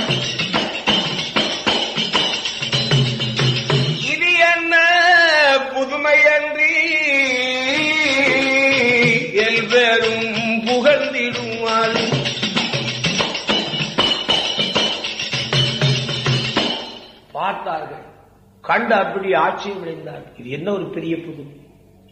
என்று எல்வர்களும் அப்படியே மலைத்திருக்கும் பொழுது பாஷா நாயகத்தை பார்த்து சொன்னார் மகானே விருந்து பசியார் அதுக்கப்புறம் தான் பாஷா நாயகம் பசியாறினார் அந்த நானூத்தி நான்கு பேர்களும் உணவருந்தினார்கள் இப்பேருக்குற்ற ஒரு அற்புதத்தை செய்து காட்டி பாஷா நாயகம் நானூத்தி நான்கு பேர்களும் அந்த இடத்தை விட்டு தான் எழுந்தருளியாகி மீண்டும் தான் அந்த தெஹரான் பட்டணத்தினுடைய எல்லையை தானே விட்டு நடந்து இன்னும் அவர்கள் எங்கே வருகின்றார்களே? ஆனால் நடந்து வருகின்ற நாளையிலே நானூத்தி நான்கு பேர்கள் கொண்டு வர.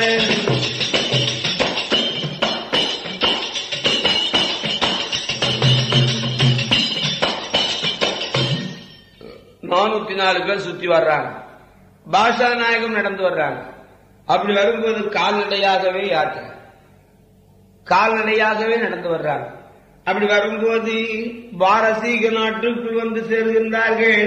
அந்த நாட்டுக்குள் வந்து ஒரு அழகான இடத்தில் தானே தான் தன்னுடைய சகாக்களுமாக வந்து தங்கி இருக்கக்கூடிய நேரத்தில் அந்த பாரசீக நாட்டுக்கு தலைவராக இருக்கக்கூடிய ஒரு பெரிய பாதிஷாவுடைய ஒரு இன்னும் பெரிய ஒரு பிறப்பாக இருக்கக்கூடிய ஒரு பெரிய பணக்காரர் மஹமூது என்று சொல்லக்கூடியவர். பாஷனாக வந்திருக்கின்ற நிலையைத்தானே கண்டதும் குடியும் என்பதாக வந்து பாதாரவிந்த மதி பணிந்திருமாறி பணிவோடு வந்திருந்து சொல்லிடுவார்.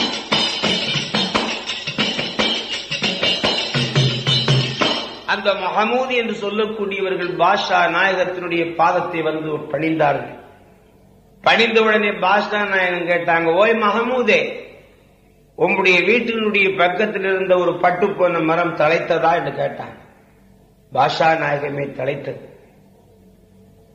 அது அதை கேட்டதும் இந்த மகமூது ஆச்சரியமடைந்து விட்டார். ஆகையினால் பாஷா நாயகமே நீண்ட நாளாக எனக்கு அவுலாது இல்லை மக்கள் இல்லை எனக்கு நல்ல ஒரு மக்கள் கிடைக்கும்படியாக நீங்கள் துவா செய்ய வேண்டும் என்று சொன்னார்கள். அதுபோல பாஷா நாயகன் நல்வாக்கு கொடுத்தாங்க அதுபோலவே அந்த மஹமூத் என்று சொல்லக்கூடிய அவர்களுடைய வீட்டுக்கு சென்றார். சென்றதும் அதுபோலவே அல்லாவுடைய கிருபியை கொண்டு அவர்களுக்கு நல்ல ஒரு அவுலாது கிடைக்கப்பட்டு ரொம்ப சிறப்பான முறையிலே மஹமூத் என்று சொல்லக்கூடியவர்களும் அவர்களுடைய அவர்களுடைய அவர்களுடைய மனைவியாரும் மனம் வந்து பாதுஷா நாயகத்தை தான் வாழ்த்தி போற்றி வாழ்ந்து வருகின்ற நாளையிலே.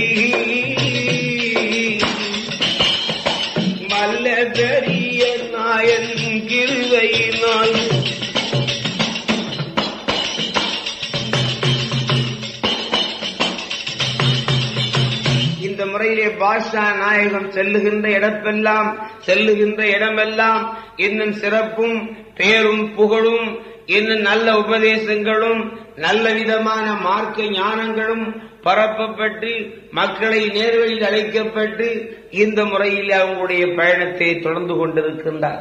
அப்படி தொடர்ந்து கொண்டிருக்கும் போது கடைசியாக இன்னும் ஒரு இடத்திலே வந்து தானும் தன்னுடைய சகாக்களும் தங்கி இருக்கின்றார்கள் அங்கு தங்கி இருக்கும் போது ஒரு கஸ்தூரி மர குகை என்று சொல்லக்கூடிய இடத்துல பெரிய பெரிய ஞான மகான்கள் எல்லாம் தங்கி இருந்து வணக்கம் செய்யக்கூடிய இடம்.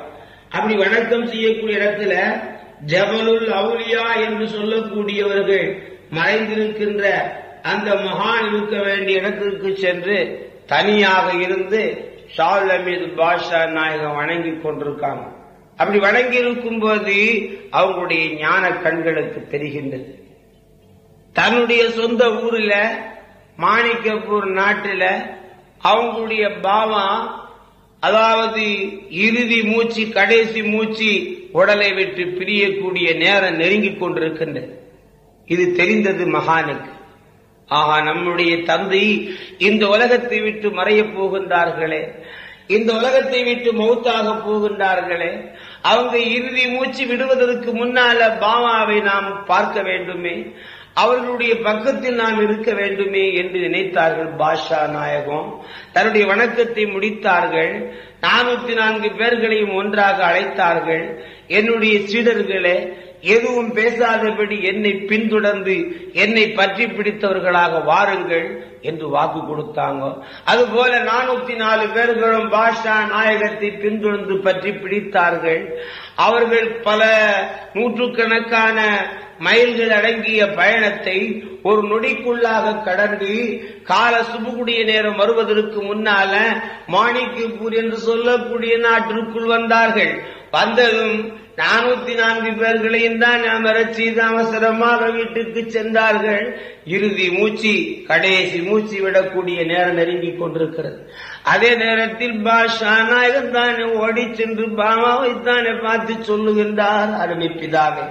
அருமை தந்தை அவர்களே அல்லாவுடைய அழைப்பிற்கு இணங்க நீங்கள் இந்த உலகத்தை விட்டு பிரிந்து செல்லக்கூடிய ஒரு நேரம் நெருங்கிவிட்டது.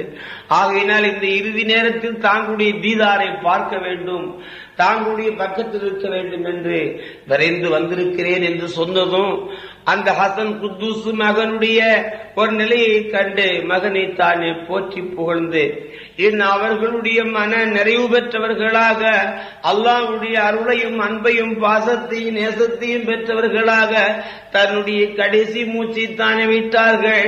இந்த உலகத்தை விட்டு மறைந்தார்கள். ஆகவே ஹசன் குத்தூஸ் அவர்களுமா தான செய்தி கேட்ட அந்த நகர மக்கள் எல்லாம் வந்து கூடி அவர்களை தான் நல்ல விதமான முறையில் இறுதி மரியாதைகள் எல்லாம் செய்து செய்யக்கூடிய முறையிலே கவர்ந்தவரிட்டு அனைவர்களுமாகத்தானே ஒன்றாக கூடி தொழ வைத்து நல்லடக்கம் செய்திடுவார் நாயகர் தந்தையாரை.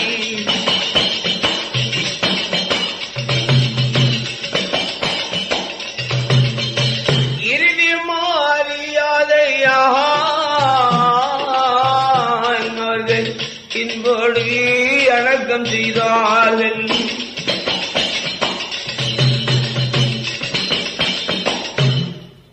பாஷா நாயகத்தினுடைய தந்தையை நல்ல முறையில் அவர்களுக்கு இறுதி மரியாதைகள் எல்லாம் செய்து அவர்களை சிறப்பாக அடக்கி அவர்களுக்கு செய்யக்கூடிய துவாக்களை தானே செய்து அவர்களுடைய இல்லங்களுக்கு சென்றார்கள். இந்த விதமாக பாஷா நாயகத்துடைய தந்தை உபாத்தானார். அதே நேரத்தில் அதே போன்று அவங்களுடைய தாயாரும் தன்னுடைய கணவருடைய மௌத்துக்கு பின்னால் இனிமேல் நாமளும் அந்த இடத்தை நாமளும் பிடிக்க பிடித்துக் கொள்ள வேண்டும் என்ற முறையிலே தாயாரும் தான் அதே போன்று அவர்களுடைய அவங்களுடைய இறுதி மூச்சு அவர்களும் இந்த உலகத்தை விட்டு மறையக்கூடிய நேரம் நெருங்கியதும் அதே போல தாயாருக்கும் செய்யக்கூடிய ஹதுமத்துகளை செய்து பாஷா நாயகம் தன்னுடைய தாயாருடைய மரணத்துக்கும் இருந்து அவர்களுக்கு செய்யக்கூடிய முறைகளையும் செய்து நல்லடக்கம் செய்துவிட்டு பாஷா நாயகமும் மற்றும் உண்டான அனைவர்களும் தான் அவர்களுக்கு செய்யக்கூடிய இந்த பாத்தியா துவாக்களை எல்லாம் ஓதி முடித்துவிட்டு பாஷா நாயகமும் மீண்டும் தன்னுடைய நானூத்தி நான்கு சகோதரர்களுமாக ஒன்று கூடி மீண்டும் தன்னுடைய மாணிக்கப்பூர் என்று சொல்லக்கூடிய நாட்டுத்தானே விட்டு பயணப்பட்டு வழிநடந்து வருகின்றார்கள். எங்கள் வரிசை பெற்ற ஹமீத்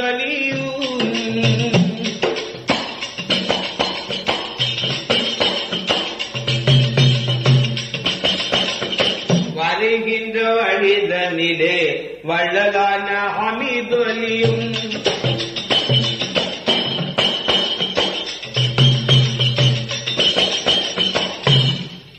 பாஷா நாயகம் மீண்டும் மாணிக்கப்பூர் நகரத்தை விட்டு கடந்து நீண்ட தூரத்தினுடைய பயணத்தை கடந்து வந்து கொண்டிருக்கிறார்கள்.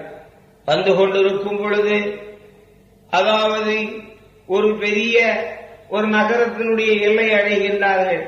அடைந்து அந்த வழியாக சென்று கொண்டிருக்கக்கூடிய நேரத்தில் ஒரு பெரிய நாட்டிற்குள் சென்ற பாதுஷா நாயகம் அங்க தீனுல் இஸ்லாத்தை தழுவியவர்கள் நம்முடைய பெருமானார் நபி முகமது முஸ்தபா ரசூலே கரீம் சல்லல்லாஹு அலைஹி வஸல்லம் அவர்களுடைய சுண்ணத்தை பேணி நடக்கக்கூடிய மக்கள்கள் வாழக்கூடிய அந்த நாட்டிற்குள் சென்றதும் அன்றைக்கு வெள்ளிக்கிழமை யோமல் ஜும்மாவுடைய நாள்.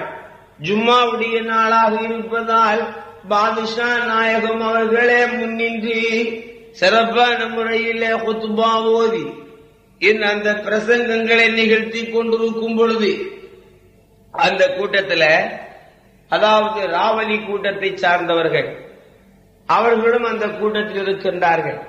பாதுஷா நாயகம் சுண்ணத்து ஜமாத்தினுடைய தன்மையை பற்றி நபியினுடைய சிறப்பை பற்றி பேசிக் கொண்டிருக்கும் போது அவருக்கு ஆத்திரம் மேதித்து விட்டது. உடனே தன்னுடைய கையில வாழை எடுத்து பாதுஷா நாயகத்தை கொல்ல வேண்டும் என்று அவங்கள் மீது வாளை வீசினார். அந்த வீசிய வாழ் தன் மீது பட்டு தானே அந்த இடத்திலே கீழே விழுந்து மடிந்து விட்டார். மரணித்து விட்டார். இதை பார்த்த ஜனங்கள் அத்தனை பேர்களும் தானே பிரமித்து. அதாவது அரசனா பாதுஷா நாயகத்தை கொல்ல நினைத்தவர் தானே மடிந்து விட்டார் என்றதும் இந்த செய்தி அறிந்த அவர்களுடைய மனைவி மக்கள் ஓடி வந்து பாஷா நாயகத்தினுடைய பாதத்தை பணிந்து வேண்டிக் கொண்டார்கள். நாயகமே ஆகையினால் அவர் செய்த ஒரு தவறுக்கு தகுந்த தண்டனை கிடைத்து விட்டது ஆனாலும் மகானே மன்னித்து ரட்சித்து மீண்டும் அவர்களை உயிர் பெறச் செய்ய வேண்டும் என்று சொன்னார்கள்.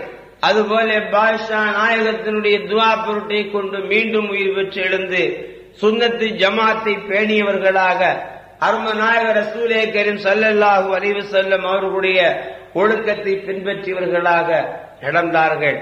மீண்டும் பாதுஷா நாயகம் அதை விட்டுந்தானே கடந்து அவர்கள் எங்கே வருகின்றார்களேயானால் பாகிஸ்தானுடைய எல்லையாகிய லாகூர் என்று சொல்லக்கூடிய நாட்டிற்கு வந்து இறங்கினார்கள்.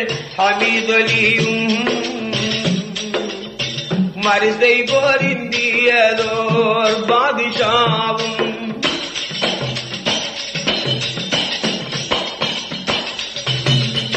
நானூத்தி நாலு பேரும் வந்தீரங்க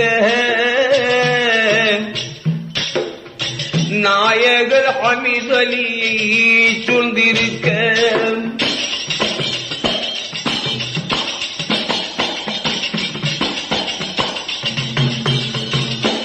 நானூத்தி நான்கு பேர்களும் பாஷா நாயகமும் லாகூர் என்று சொல்லக்கூடிய ஊரிலே வந்து தங்கி இருக்கின்றார்கள் அப்படி தங்கி இருக்கக்கூடிய நேரத்தில் அதே ஊருக்கு முஃப்தியாக இருக்கக்கூடிய ஆலியாக இருக்கக்கூடிய நூறுதீன் என்று சொல்லக்கூடியவர்கள் பாதுஷா நாயகத்துடைய முன்பாதாக வந்து பாதத்தை படித்து தானே வேண்டுகின்றார்.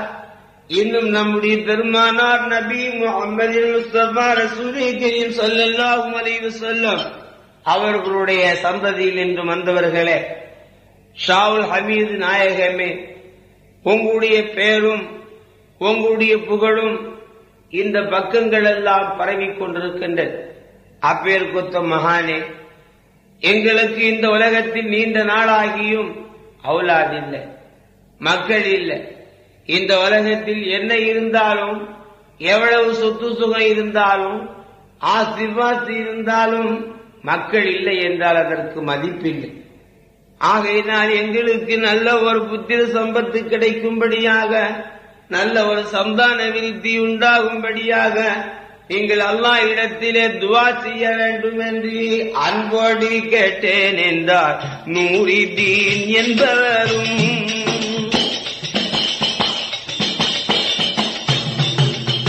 பாதுசாவில் பாதம் பணிந்து அவர்கள் பணிவோடி கேட்டு நின்றார்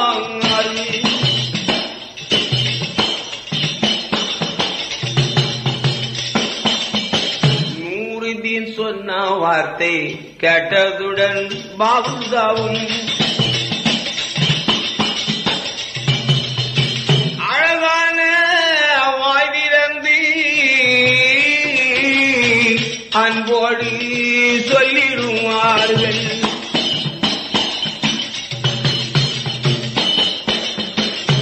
பாஷா நாயர் சொன்னார் நூறுதீனே ஆனால் ஒன்று செய்யுங்கள். அல்லாவுடைய கிருபியை கொண்டு உங்களுக்கு நல்லதொரு அவுலாது கிடைக்கும்படி துவா செய்வோம். நீங்கள் அந்தி பொழுதானதும் உங்களுடைய மனைவியும் அழைத்துக் கொண்டு கொஞ்சம் வெத்திலையும் பாக்கும் எடுத்துக் கொண்டு வாருங்கள் என்று சொன்னார். அதுபோலவே நூறுதீன் விரைந்து வீட்டுக்கு சென்று நடந்த சம்பவத்தை தன்னுடைய மனைவிக்கும் சொல்லி தன்னுடைய மனைவியும் அழைத்துக் கொண்டு பாதுஷா நாயகம் சொன்னதை போன்று வெத்திலையும் பார்க்கும் தான் கொண்டு வந்து அவர்களுடைய கையில கொடுக்க.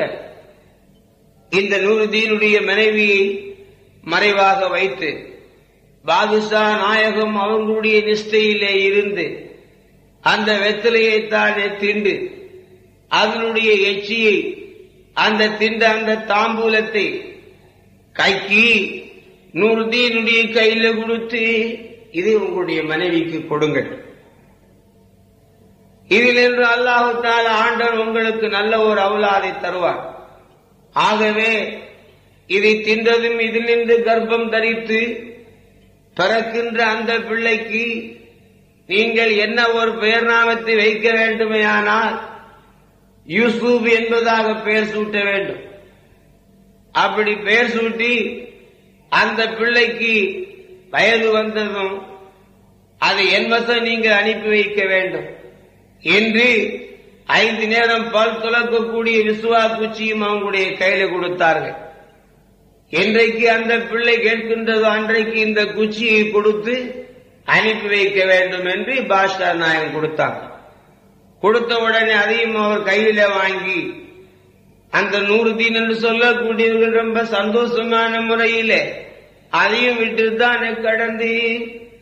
பாஷா நாயகம் சொன்னதும் அதுபோல அந்த நூறு தீனும் அவர்களுடைய மனைவி அவர்களுடைய இல்லத்திற்கு வந்து மன நிறைவோடு தானே வாழ்ந்து வரக்கூடிய நேரத்தில் பாஷா நாயகம் சொன்னதை போன்று அவர்களுடைய மனைவியாகிய அந்த சுல்தான் பீவி நூறுதீன் ஜொஹரா என்று சொல்லக்கூடிய அவர்களுடைய மனைவி ரொம்ப சந்தோஷமான முறையில் வாழ்ந்து வரக்கூடிய நாளில் அவங்களுடைய வயசிலே அல்லாஹால ஆண்டவர் நல்ல விதமான அமலை தரிமாடாக வாய்க்கு வைத்தார். வைத்ததும் அதுபோல் நாடும் வளர்கின்றது அமலும் வளர்கின்றது. இந்த முறையிலே பாதுஷா நாயகம் தன்னுடைய நானூத்தி நாலு தபோதர்களையும் அழைத்துக் கொண்டு அந்த இடத்தையும் விட்டு பயணப்பட்டு நடந்து வருகின்ற நேரம் அதில்.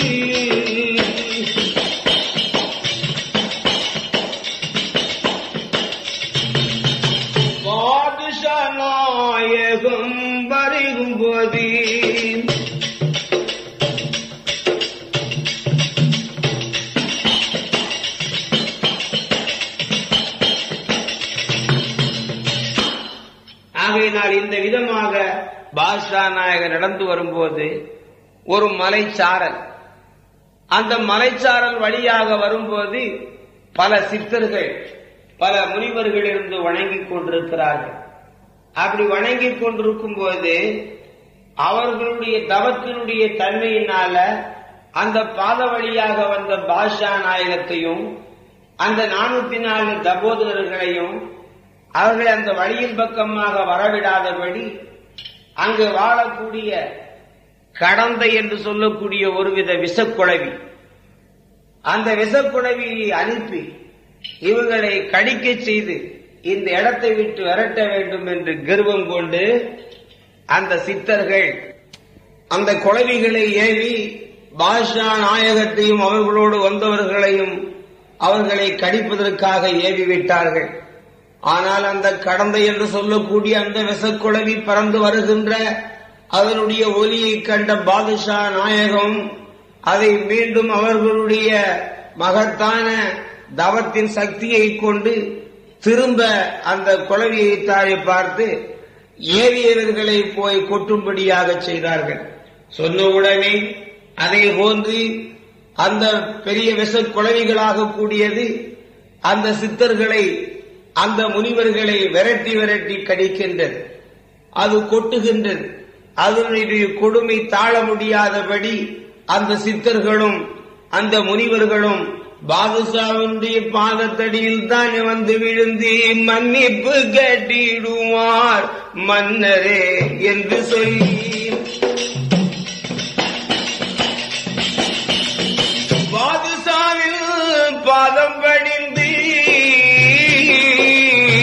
சித்தர்கள் அனைவர்களும்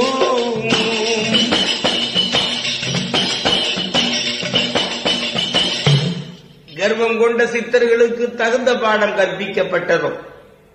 ஆகவே அவர்கள் பாதத்திலே விழுந்து பணிவு கேட்க பணிந்து கேட்கின்றார். மகானே மன்னிக்க வேண்டும் என்று மீண்டும் பாஷா நாயகத்தினுடைய மகத்தான சக்தியை கொண்டு அந்த குழவியினுடைய தொல்லைகளை விட்டு நீக்கியதும் உடனே பாஷா நாயகம் சொன்னார்கள் சித்தர்களே முனிவர்களே நீங்க மேலான ஒரு முக்தியை பெற வேண்டுமேயானால் எங்களுடைய சன்மார்க்க போதனையாகிய லாயிலாக இல்லல்லா முஹம்மது ரசூலுல்லா என்று சொல்லக்கூடிய கலிமாவை சொல்லி ஈமான் கொண்டு இஸ்லாத்தை ஏற்றுக்கொள்ளுங்கள். இதைவிட மேலான ஒரு மகத்தான சக்தியை பெறுவீர்கள் என்று சொன்னதும் அந்த சித்தர்களும் முனிவர்களும் பாதுஷா நாயகத்தினுடைய கரத்தை பிடித்து லா இலாஹா இல்லல்லா முஹம்மது ரசூலுல்லா என்று கலிமாவை சொல்லி ஈமான் கொண்டு இஸ்லாத்தை ஏற்றிடுவார். அனைவரும் ஓதிடுவார்.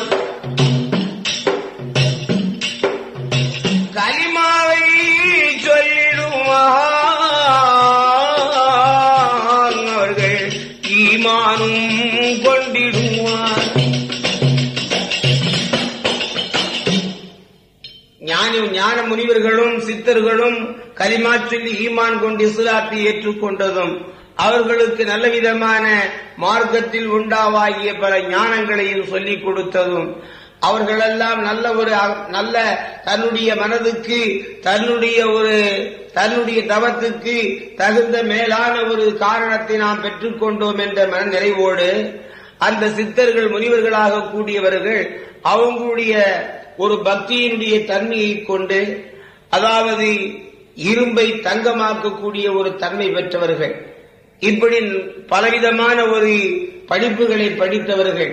அதாவது கீமியா ஹீமியா சீமியா ரீமியா என்று சொல்லக்கூடிய மறைந்து வாழக்கூடிய பறந்து செல்லக்கூடிய இப்பேற்குற்ற ஒரு தகுதிகளை படித்த அந்த ஞானிகள் தன்னுடைய பாதுஷா நாயகத்தோடு இருக்கின்ற மற்ற நானூத்தி நான்கு பேர்களுக்கும் இந்த படிப்புகளை படித்துக் கொடுத்தார்களா? கொடுத்து முடித்ததும் பாஷா நாயகமும் நானூத்தி நான்கு தபோதனர்களும் ரொம்ப சந்தோஷமாகி அந்த இடத்தை விட்டு பயணத்தை தொடர்கின்றார்கள். தொடரக்கூடிய நேரத்தில் பாதுஷா நாயகத்தினுடைய சொல் போன்றி அந்த லாகூர் என்று சொல்லக்கூடிய ஊரில் இந்த விதமாக பாதுஷா நாயகம் அந்த இடத்தையும் தானே விட்டு பயணப்பட்டு நடந்து வருகின்ற நாளையிலே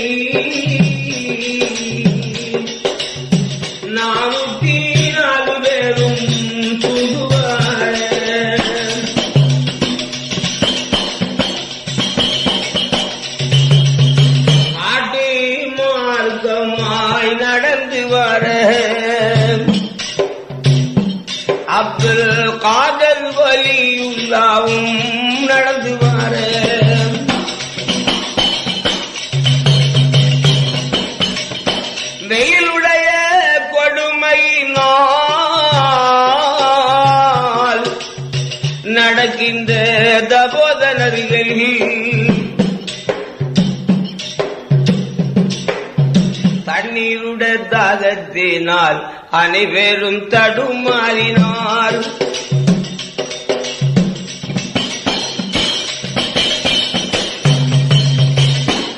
நானூத்தி நாலு பேர்களும் நாகூர் பாதுஷாவும் நடந்து வர்றாங்க. காட்டு மார்க்கமாக அடிக்கிற வெயில் கொதிக்கக்கூடிய அந்த பூமி ரொம்ப வெப்பமான இடம். ஆனால் தண்ணீர் தாகம் அதிகமாகிவிட்டது. தண்ணீர் கிடைப்பதற்கு வழி இல்லை. இந்த நிலையிலே நடந்து வரும்போது ஒரு இடத்தில் நாற்பது குடங்களில் பால் வைக்கப்பட்டிருக்கிறது. நாற்பது குடங்களிலே பால் நிரம்பி இருக்கின்றது. உடனே அந்த இடத்திற்கு சென்று பால் வைத்திருக்கின்ற அந்த குடங்களை பார்த்து தாகத்தினுடைய தன்மையினால அந்த நானூத்தி நாலு பேர்களும் அந்த பாலுடி பால் குடங்களை தானே எடுத்து எல்லாரும் பங்கிட்டு அந்த பாலை குடிச்சாங்க. குடித்தவுடனே இன் இன்னும் அந்த பாலை கொண்டு செல்லக்கூடிய வேலைக்காரர்கள் ஓடி வந்து சொன்னார்கள். போய் பெரியவர்களே என்ன இருக்க நீங்க என்ன மோசம் செய்து விட்டீர்கள்?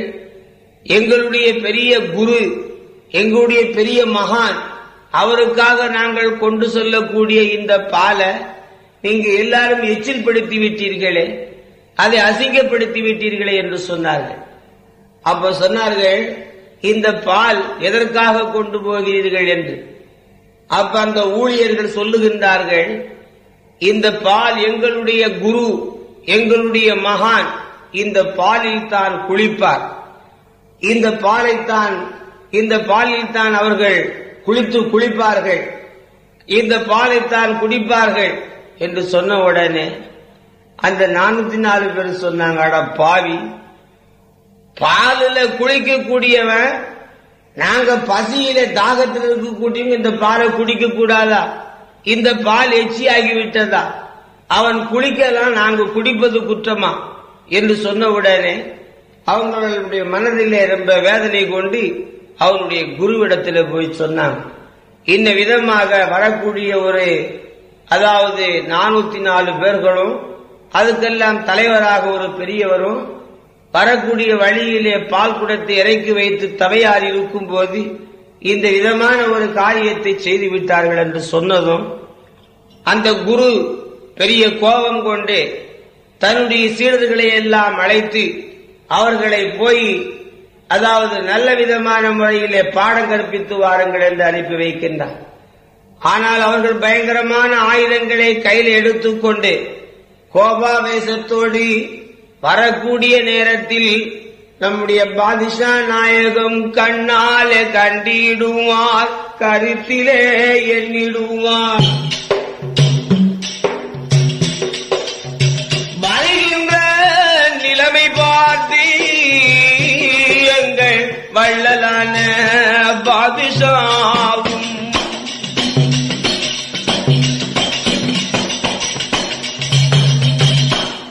அவன் வரக்கூடிய வேகமும் கோபமும் அவன் வரக்கூடிய அந்த நிலையும் பார்த்ததும் பாஷா நாயம் பார்த்தாங்க வந்தா பெரிய ஆபத்து ஏற்படும்.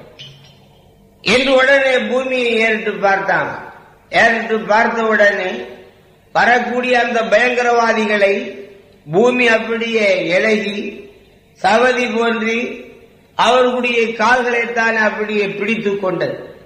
கால்களை எடுக்க முடியாதபடி பூமி உறிஞ்சு கொண்டது. அந்த இடத்தை விட்டு அவங்களால் ஆடவும் முடியல அசையவும் முடியல. அதே நேரத்தில் சூரியனைக்கு சூரியனை பார்த்தார்கள். அந்த சூரியனுடைய வெப்பம் சூரியனுடைய ஒளி அவர்கள் மீது அதிகமாகத்தானே பாய்ந்துகிறது. சூரியனுடைய அந்த வெப்பநிலை தாங்க முடியாதபடி கதறி துடிக்கின்றார் அந்த வந்த அந்த தொண்டர்கள் அந்த ஊழியர்கள். அந்த வம்பர்கள் இந்த நிலையில் இருக்கும்போது அதுக்கெல்லாம் தலைவனாக இருக்கக்கூடிய அந்த குரு ஓடி வருகின்றார். ஓடி வந்து சொல்லுகின்றான் என்ன காரியம் செய்து விட்டீர் நீர் அவ்வளவு பெரிய சிறந்தவர்களாக இருப்பீரையானால் என்னோடு வானத்தில் பறக்க முடியுமா? என்று கேட்டான் அப்படியா? நீ பறந்து செல் பார்ப்போம். அந்த முனிவன் பறந்தான். பறந்த உடனே பாஷா நாயகம் பார்த்தாங்க அப்படியா? என்று அவங்களுடைய காலில் கிடக்க வேண்டிய காலனியை எடுத்து ஏவினார்கள். ஏவிய உடனே அவங்களுடைய பாதகுரடு பறந்து செல்கின்ற அந்த சன்னியாசியைத்தானே சுருட்டி மடக்கி அடித்து அப்படியே நிறுத்தி இழுத்து கொண்டு வந்து கீழே நிறுத்தியது. உடனே பாதுஷாவனுடைய பாதத்திலே வீழ்ந்து பணிந்து மன்னிப்பு கோரினார் அதோ இருக்கின்றது உன்னுடைய குடங்களில் நாற்பது குடங்களில் பால் நிரம்பி இருக்கிறது எடுத்துக்கொண்டு போங்க. என்று சொன்ன உடனே அது போலவே அவனுடைய கூட்டத்தார்களுடைய கால்கள் எல்லாம் விடப்பட்டு பாதுஷாவினுடைய மகிமையை பார்த்து பயந்து பணிந்து நாற்பது குடங்களில் இருக்கின்ற பாலையும் எடுத்துக்கொண்டு எதுவுமே பேசாதபடி சென்றான். அந்த கர்வம் கொண்ட முனிவரும் அவருடைய கூட்டத்தார்களுமாக. இந்த விதமாக பாதுஷா நாயகம் பல அற்புதங்களை காட்டி செல்லக்கூடிய வழியிலே ஒரு ஊருக்கு சென்றார். அந்த ஊரிலே அதாவது யகூதிகள் குஃபார்கள் வாழக்கூடிய அந்த ஊருக்கு சென்றதும் பாதுஷா நாயகம் அந்த மக்களுக்கு சொன்னார்கள் நீங்கள் எல்லாம் நேர்வழியில் வாருங்கள் என்று.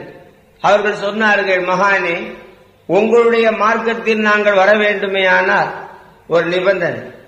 அதோ இருக்கின்ற குளத்திற்கு மேலே இருக்கின்ற அந்த புள்ளியார் அந்த கல் புள்ளையார் இந்த ஒரு குளத்து தண்ணியும் குடிக்கணும். அப்படி நீங்க குடிக்க செய்தா உங்களுடைய மார்க்கத்தில் வர்றோம்னு சொன்னாங்க. அப்படியா? என்று உடனே பாஷா நாயகம் அந்த கல்லு பிள்ளையார பார்த்து ஏசைதான் என்ன குதோச்சுக்கிட்டு இருக்க? தண்ணியை போய் குடி என்று சொன்னாங்க. உடனே ஒரே பாய்ச்சல் அந்த குளத்துக்குள் விழுந்து ஒரு குளத்து தண்ணீரையும் குடித்தது. இதை பார்த்த அந்த குப்பார்கள் பயந்து உடனே பாஷா நாயகத்தினுடைய கரத்தை பிடித்து லாயிலாக இல்லல்லா முகமது ரசூலுல்லா என்று கலிமாவை தானே சொல்லி ஈமான் கொண்டு சிலாத்தை ஏற்றுக்கொண்டார்கள் இப்படி பல அற்புதங்களை காட்டினார். அப்படியே காட்டி செல்லும் போது ஒரு ஊருக்கு செல்லுகின்றார். செல்லும் போது அந்த ஊருக்கும் இவங்க செல்லுகின்ற வழிக்கும் மத்தியில் ஒரு பெரிய ஆறு. ஆற்றை கடக்க வேண்டுமே ஆனால் அக்கறையில் அரசன் இருக்கின்றான். அவனிடத்தில் தான் படகு இருக்கின்றது. படகுடைய உதவி உண்டானால் ஆற்றை கடலாம் ஆனாலும் பாதுஷா நாயகம் எவ்வளவோ சொல்லியும் அவர்கள் கேட்கவில்லை படகு அனுப்பவில்லை. பாதுஷா நாயகத்தினுடைய மகிமையை கொண்டு ஆளிலையை படகாக்கி தன்னுடைய சகாக்களையும் தன்னுடைய கூட்டத்தார்களையும் அழைத்துக் கொண்டு ஆற்றை கடந்த அக்கறைக்கு சென்றதும் அழகிய ஒரு நந்தாவன சோலை நல்ல பூ புஷ்பங்கள் தங்குவதற்கு தகுந்த இடம். அந்த இடத்தில் கொண்டு போய் தன்னுடைய குடிசைகளை தன்னுடைய கூடாரங்களை அடித்து தானும் தன்னுடைய சகாக்களுமாக தங்கி இருக்குகின்ற தருணம் அதில். எங்கள் சந்தி பொருந்தியதோர் பாதுஷாவும்.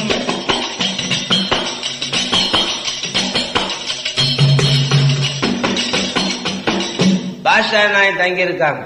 தங்கியிருக்கும் அந்த நந்தாவன சோலையில ஒரு வேலைக்கார் அதாவது ஒரு பெரிய ஒரு பூசாரி அவன் பெரிய மந்திரவாதி பல மந்திரங்களை படித்தவன். அவன் ஓடி வந்து சொல்லுகின்றான் இது எங்களுடைய வணக்க ஸ்தலம் நாங்கள் இருக்க வேண்டிய இடம். இது ரொம்ப துப்புரவான இடம். ஆகையினால் நீங்களோ ஆடுகளையும் மாடுகளையும் போட்டு அறுத்து தின்னக்கூடியவர்கள் சாப்பிடக்கூடியவர்கள் இந்த இடத்தை நீங்கள் அசிங்கமாக்கி விடுவீர்கள். இது எங்களுடைய தெய்வ வழிபாட்டுக்குரிய இடம் என்று அந்த மமதை படைத்த மந்திரவாதி சொன்னார். அதை கேட்டதும் பாஷ்டா நாயகன் சொன்னார்கள் அடே மடையனே அதாவது உன்னை போன்று வணங்கக்கூடியவர்கள் அல்ல. நாங்கள் மனத்தாலும் அதாவது எண்ணத்தாலும் நடத்தையாலும் நாங்கள் ரொம்ப சிறந்தவர்கள். ஆகையினால் ரொம்ப பரிசுத்தமானவர்கள். ஆகையினால் நாங்கள் வணங்கக்கூடிய வணக்கம் இருக்கின்றதே எந்த முறையிலும் அதாவது எந்த ஒரு நிலையிலும் எங்களுடைய வணக்கத்திற்கு மற்றவர்களுடைய வணக்கம் ஈடாகாது. அப்படி நாங்கள் வணங்கக்கூடியவர்கள். உன்னை விட நாங்கள் உயர்ந்தவர்கள் பரிசுத்தமானவர்கள் என்று பாகிஸ்தான் நாயகம் சொன்னான். சொன்ன உடனே அவனுக்கு பெரிய கர்வம் ஏற்பட்டு விட்டது அவன் சொல்லுகின்றான் அந்த மந்திரவாதி ஓய் மனிதரே அப்படி உம்முடைய நிலையை பற்றி சொல்லுகின்றீரே. உமக்கு தைரியம் இருந்தால் என்னோடு இந்த தண்ணீரில் நடந்து வந்து நடு குளத்துக்குள் தீ இல்லாதபடி நெருப்பிட்டு உணவு சமைத்து காட்ட முடியுமா உம்மால்? என்று மந்திரவாதி பாஷ்ணா நாயகத்தை பார்த்து கேட்டான். அப்படியா? உன்னுடைய மந்திர சக்தி அவ்வளவு பெரிய சக்தியா? நீ செய்து காட்டு பார்ப்போம். என்று சொன்ன உடனே அதே போல அந்த மந்திரவாதி அவன் தண்ணீரில் நடந்து சென்று நடு குளத்துக்குள் சென்றதும் பாதுஷா நாயகத்தினுடைய ஷஹர் ஜின் என்று சொல்லக்கூடிய அந்த ஜின் சென்று நடு குளத்திலே இருக்கின்ற மந்திரவாதியை தானே பிடித்து ஒரே அடியில் அந்த குளத்துக்குள் தானே தள்ளி அவனை மண்ணோடு மண்ணாக அந்த தண்ணீரோடு தண்ணியாக போகக்கூடிய முறையில அந்த மந்திரவாதி செத்து மடிந்தார் இதை பார்த்ததும் அந்த மந்திரமுள்ள ஜனங்கள் எல்லாம் பயந்து விட்டார்கள். அதே நேரத்தில் இந்த செய்தி அறிந்த அந்த நாட்டை ஆளக்கூடிய அரசன் பார்த்தான். நம்முடைய ராஜகுரு மந்திரவாதி செத்து மடிந்து விட்டார் நம்முடைய நந்தாவன சோலைகளும் அழிக்கப்பட்டு விட்டது. அதாவது நம்முடைய நந்தாவன சோலைகள் எல்லாம் அசுத்தமாக்கப்பட்டு விட்டது. ஆகையினால் இதற்கு தகுந்த பாடம் கற்பிக்க வேண்டும். நாமளும் பழிக்கு பழி எடுக்க வேண்டும் என்ற எண்ணம் கொண்டு அந்த நயவஞ்சகனாகிய அரசன் பாதுஷா நாயகத்திற்கு விருந்து சொன்னான். அவர்களும் அவர்களுடைய சகாக்கள் கூட்டத்துக்கும் விருந்து சொல்லி அவனுடைய அரமனைக்கு சென்று நயவஞ்சகமான முறையிலே உணவுகளை தயார் செய்து அந்த உணவிலே விஷத்தையும் தானே இட்டு தயார் செய்து விட்டார். அதுபோலவே நானூத்தி நான்கு பேர்களையும் பாஷா நாயகத்தையும் அழைத்துக் கொண்டு வந்து அமரச் செய்து ரொம்ப மரியாதையோடு உணவுகள் தான் பரிமாறப்பட்டதும். பாஷா நாயகமும் நானூத்தி நான்கு பேர்களும் எந்த விதமான ஒரு களங்கமின்றி பாதுஷா நாயகம் அந்த விஷமிட்ட உணவை பிஸ்மில்லாஹி ரஹ்மான் ரஹீம் என்று அல்லாவுடைய இஸ்மில் அலத்தை தானே சொல்லி வைத்ததர் உணவாவை உண்ணுகின்ற நேரம் அதில் அண்ணலான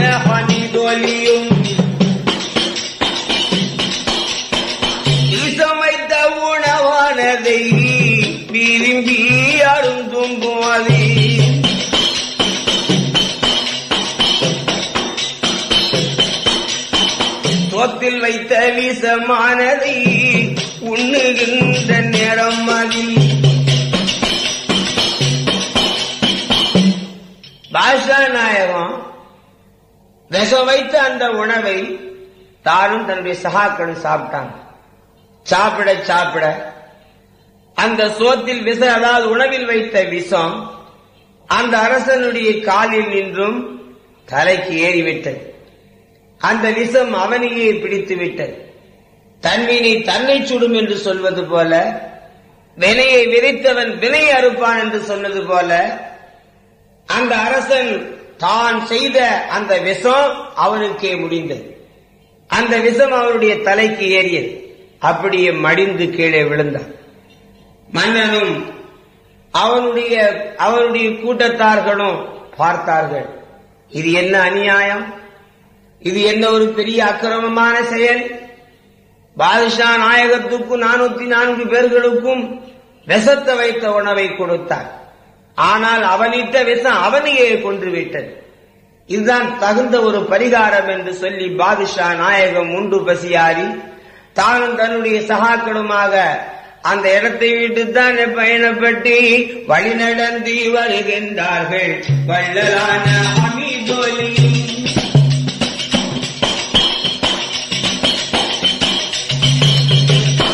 அந்த ஊர்ல சில நாள் தங்கி இருந்து புறப்படக்கூடிய நேரத்தில் அங்கு எப்பேர் கொடுத்த ஒரு காரணம் நடக்கின்றதையானால் ஒரு ஆசாரி தச்சு வேலை செய்யக்கூடிய ஆசாரி அவனுக்கு தீராத வயற்ற வேலி அவனுடைய திரேகங்கள் எல்லாம் நாற்றம் அவன் பார்ப்பதற்கு ரொம்ப அருவறுப்பாக உள்ளவன் அவனுடைய பக்கத்தில் யாரும் போக மாட்டார்கள் அவனை யாரும் வீட்டிலே ஏற்ற மாட்டார்கள் அப்படி ஒரு பார்ப்பதற்கு அருவறுக்கத்தக்க நிலையில் உண்டான அந்த தச்சி ஆசாரி அவன் பார்த்தான்.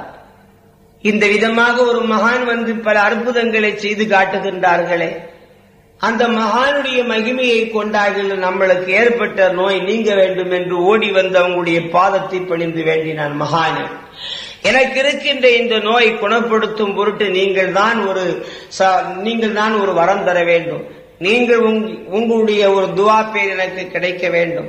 என்னுடைய நோய்வினிகள் நீங்க வேண்டும் என்று வேண்டினான் அந்த ஆசாரி. தச்சு வேலை செய்யக்கூடிய ஆசாரி. பாஷா நாயகர் துவா செஞ்சான். அவங்களுடைய துவா புரட்டி கொண்டு அவனுக்கு இருக்கின்ற நோய் நீங்கி நொம்பலம் நீங்கி சரீரத்தினுடைய துர்நாற்றம் நீங்கி அவன் திரேக ஆரோக்கியம் பெற்று நல்ல திரேக திரகாத்திரமும் பெற்று பார்ப்பதற்கு சிறந்தவனாக நல்லவனாக அவனுடைய நோய்கள் எல்லாம் நிவர்த்திக்கப்பட்டு ரொம்ப பரிபூர்ண சவுக்கியத்தை அடைந்த அந்த தச்சு ஆசாரி மட்டில்லா மகிழ்ச்சி கொண்டான். அவனுடைய நிலையை கண்ட குடும்பத்தார்கள் எல்லாம் மனம் மகிழ்ந்தார்கள். அவனுடைய உற்றார உறவினர்கள் எல்லாம் உள்ளம் பூரித்தார்கள். இந்த நிலையிலே அந்த தச்சு ஆசாரி பார்க்கின்றான் ஆண்டவரே இப்பேற்பட்ட ஞான மகானுக்கு நாம் என்ன கைமாறு செய்ய போகின்றோம்? எதை செய்தால் அதற்கு உபகாரமாக இருக்கும் என்று பார்த்தான் வேற எதுவும் அவனால முடியலை.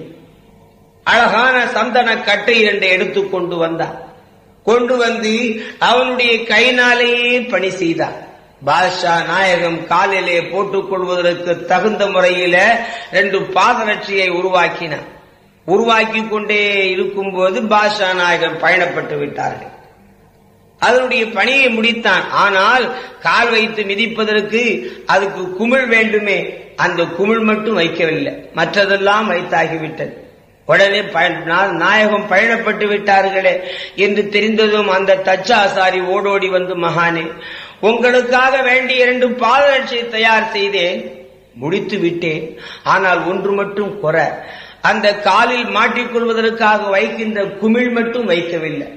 மற்ற எல்லா வேலைகளும் முடித்து விட்டேன் என்று சொன்னதும் பரவாயில்லை கீழே போடு என்று சொன்னதும் குமிழ் இல்லாதபடி பாஷா நாயகம் அந்த பாதரட்சியிலே கால வைத்து நடந்தார்களா? சுபகானது அந்த பாதரட்சி தான் இன்றைக்கும் நாகூர் தர்காவிலே அழகான முறையிலே பாதுகாக்கப்பட்டு வருகிறது என்று சரித்திரத்திலே குறிப்பிடுகின்றார்கள்.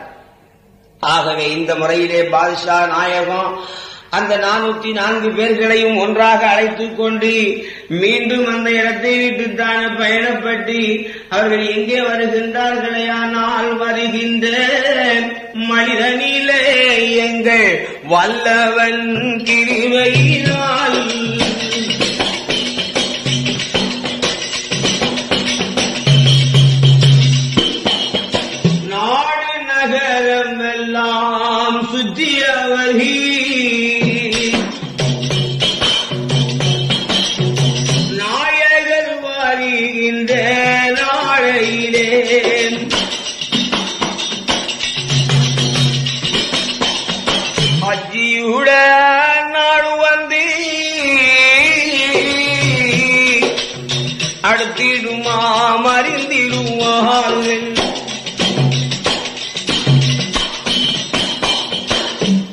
பாஷா நாயகம்.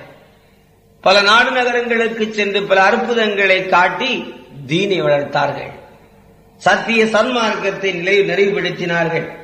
அப்படி வரும்பொழுது ஹஜ்ஜியுடைய நாள் வந்து அடுத்து விட்டது நாமும் மக்காவுக்கு போகணும்.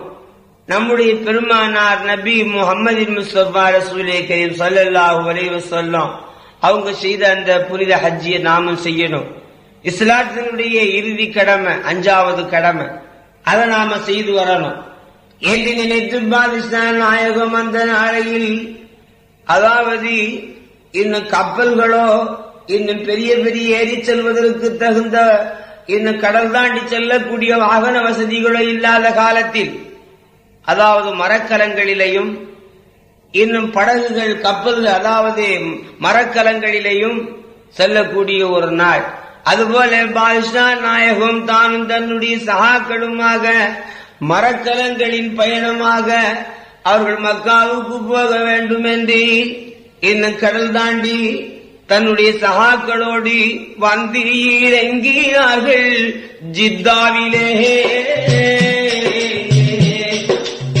மருதை போர் இந்தியதோர் அமிதலியும்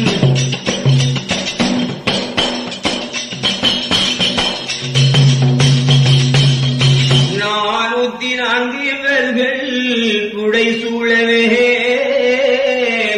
நாயகர் ஹமீதலி வந்து சேர்ந்தார்கள்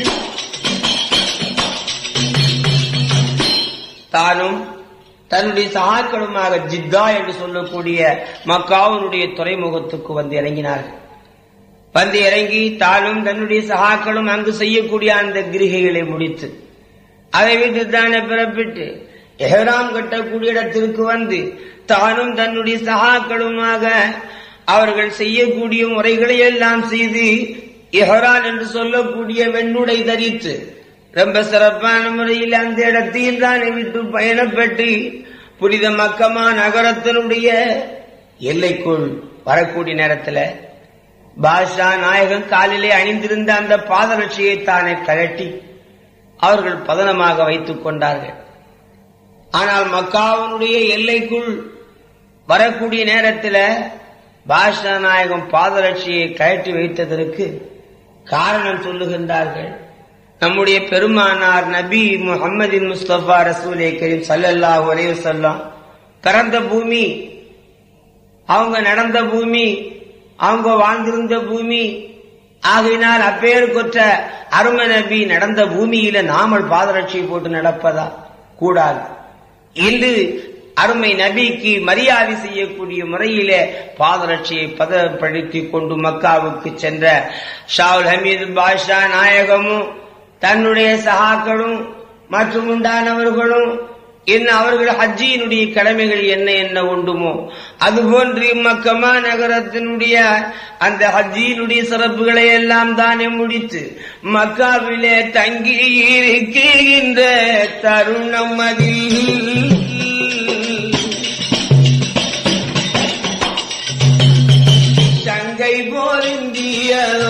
போலிந்தியதோர்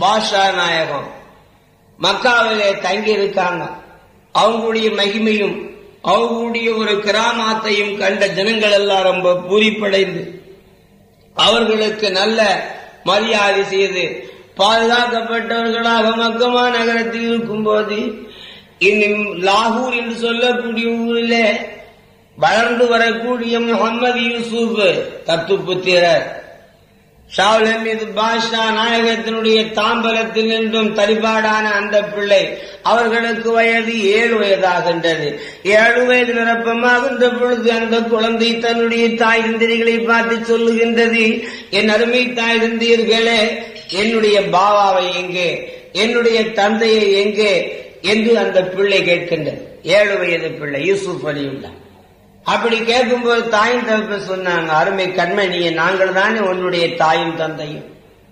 வாஸ்தவன் நீங்க இரண்டு பேர்களும் இந்த உடலுக்கு தந்தை உடலுக்கு தாய். ஆனா என்னுடைய உயிருக்கு தந்தை நீங்கள் அல்ல.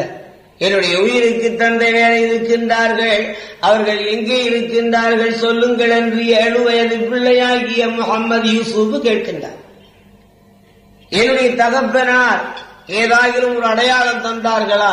அதை தாருங்கள் என்று கேட்கும் பொழுது அந்த தாயும் தந்தையும் சொன்னார்கள் அருமை மகனே அப்படி அவர்கள் தந்திருந்தால் அந்த பொருளை நீயே தேடி எடுத்துக்கொள் என்று சொன்ன உடனே ஏழு வயது நிரம்ப பெற்ற முகமது யூசூப் வீட்டுக்குள் சென்று பெட்டியை திறந்து பாவா கொடுத்தார்களே பல் துலக்கக்கூடிய விசுவா குச்சி. அந்த குச்சியை தானே கயிறு எடுத்தார்கள். இதுதான் என்னுடைய பாவா கொடுத்த பொருள். என்று கையிலே வாங்கிக் கொண்டு தாய் இருந்த இடத்திலே விடை பெற்றுக் கொண்டு என்னுடைய தகப்பனை தேடி செல்லுகின்றேன். யாரும் என்னை தடுக்க வேண்டாம் அனுப்பி வைக்க வேண்டும் என்று அன்புடனே கேட்டிடுவான் பாலரான நிரம்ப பணிவோடி கட்டிடுவார்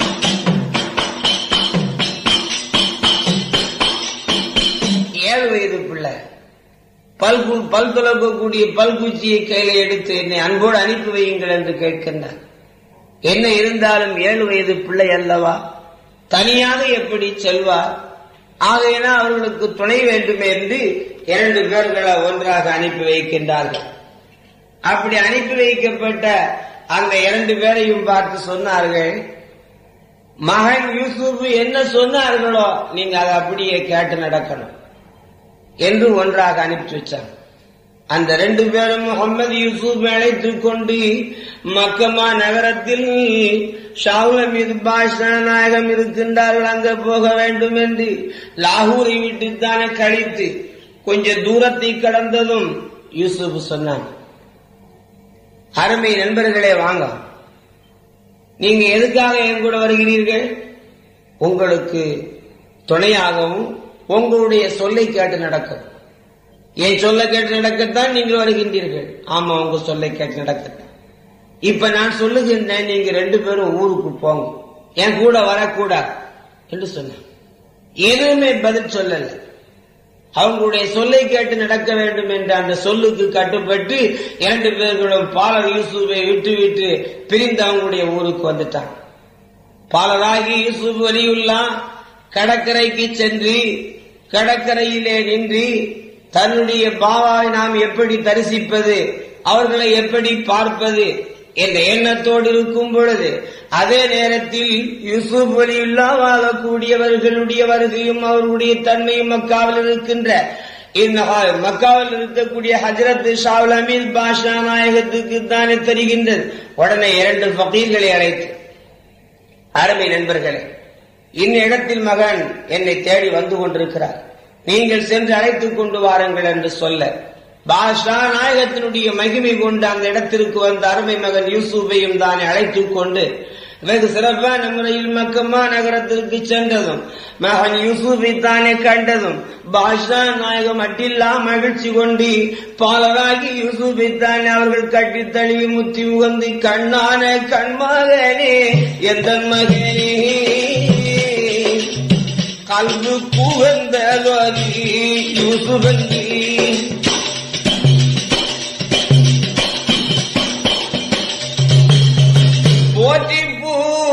புகழ்ந்திடுவார் எங்கள் பொறுமையுள்ள யூசுபையும் அதுபோலவே மகன் யூசுப் பாபாவுடைய ஒரு தன்மையை கண்டதும் மனமெல்லாம் மகிழ்ச்சி கொண்டு இன்னும் சில வருடங்கள் மக்காவிலே தங்கியிருந்து மக்காவில பல ஹஜ்ஜிகளையும் முடித்து மதினாவுக்கு சென்று நம்முடைய பெருமானார் நபி முகமது முஸ்தபா ரசூலே கரீம் ஸல்லல்லாஹு அலைஹி அவங்களுடைய தியானத்தையும் தானே தரிசித்து அங்கு செய்யக்கூடிய கிரிகைகளை எல்லாம் செய்து முடித்து இன்னும் மற்றும் உண்டான நகரங்களுக்கு அரேபியா நாடுகளில் மற்றும் உள்ள புண்ணிய ஸ்தலங்களுக்கெல்லாம் சென்று அங்கங்கு செய்யக்கூடிய கிரிகைகளை எல்லாம் செய்து முடித்து பகுதாது நகரத்திற்கு சென்று அங்கு செய்ய வேண்டிய கிரிகைகளை எல்லாம் முடித்து கடைசியாகத்தான் வரும்போது இடத்தில் வந்து தனியாக இருக்கின்றார்கள். அது மட்டுமல்ல தன்னுடைய மகன் யூசுப் ஓதிக்கொள்வதற்காக வேண்டி மக்கமா நகரத்திலே வைத்து ஒரு நாள் இரவோடு இரவாக இருந்து தன்னுடைய மகனுக்கு அவங்களுடைய கைனால முப்பது துசு குரானையும் கைனால் எழுதினார்களாம். அந்த எழுதிய கித்தாபையே அந்த மகன் யூசுப் ஓதி முடித்தார்களாம். அந்த கித்தாபு இன்றைக்கும் நாகூரில் இருப்பதாக பெரியவர்கள் சொல்லுகின்றார்கள். அவங்களுடைய கைனால் எழுதப்பட்ட இன்னும் அந்த முப்பது குரான் இருப்பதாக. ஆகவே அந்த குரானையும் ஓதி முடித்தார்கள். மனப்பாராயம் செய்தார்கள். ஆகையினால் அவங்களுடைய வணக்கத்தை தெளிவுபடுத்த வேண்டும் என்று பாதிஷா நாயகம் தன்னுடைய மகனுடைய வருகைக்காக கொடுத்து வந்தார்களே பல் துலக்கக்கூடிய அந்த பட்டு போன விசுவா குச்சி. அந்த விசுவா குச்சி மகனுடைய கையில கொடுத்து அருமை மகனை இந்த இடத்தில் அதை நட்டி வைத்து நீ தவம் செய்யும் இந்த மரம் தலைத்தால் இந்த பட்டு போன இந்த விசுவா குச்சி தலைத்து விடுமையானால் உங்களிடத்துல உங்களுடைய ஒரு சக்தியும் உங்களுடைய பக்தியும் அல்லாஹ் ஒப்புக்கொண்டான் என்பதாக அர்த்தம். இந்த மரம் துடுக்கவில்லை என்று சொன்னால் உங்களுடைய பக்தி ஒப்புக்கொள்ளக்கூடியதல்ல என்று சொன்னான். அதுபோல மகன் தனியாக இருந்து அந்த பட்டகுச்சியை தானே நட்டி வைத்து வணங்கினார்கள்.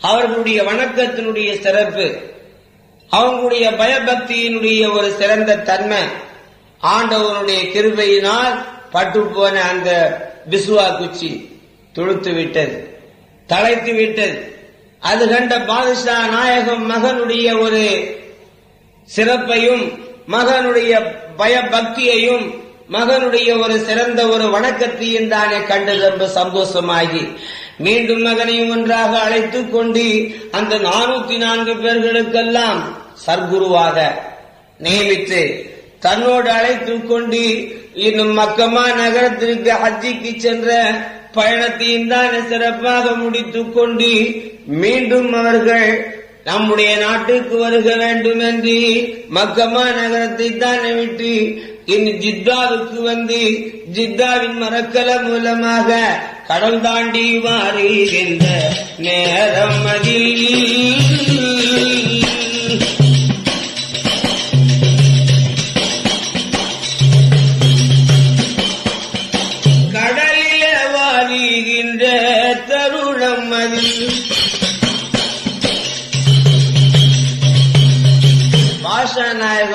மற்றுள்ளவர்களும் கடலிலே மரக்கலம் மூலமாக நடு கடலிலே கப்பல் வந்து கொண்டிருக்கிறது. அப்படி வந்து கொண்டிருக்கும் போது கடல் கொள்ளைக்காரர்கள் வரக்கூடியவர்களுடைய கடல்களை கப்பல்களை மடக்கி அவங்களுடைய முதல்களை கொள்ளையடித்து இன்னும் பல தொல்லைகள் கொடுக்கக்கூடிய அந்த கொள்ளை கூட்டம் வரக்கூடிய ஒரு காரணத்தை அறிந்ததும் பாஷா நாயகர் சொன்னான் அருமை அதாவது பெரியவர்களை கப்பல் ஓட்டக்கூடியவர்களை நீங்க ஒரு காரியம் செய்யணும். அதாவது நம்முடைய கப்பல் கடலில் கப்பல் இருக்க வேண்டிய பாமரம் மற்றுள்ள பொருள்களை எல்லாம் தானே கீழே இறக்கி பாய் மரங்களை கிழித்து நீங்கள் இருக்கணும் அப்பந்தான் இந்த கொள்ள கூட்டத்தை விட்டு நாம தப்பிக்க முடியும் என்று பாஷா நாயன் சொன்னான்.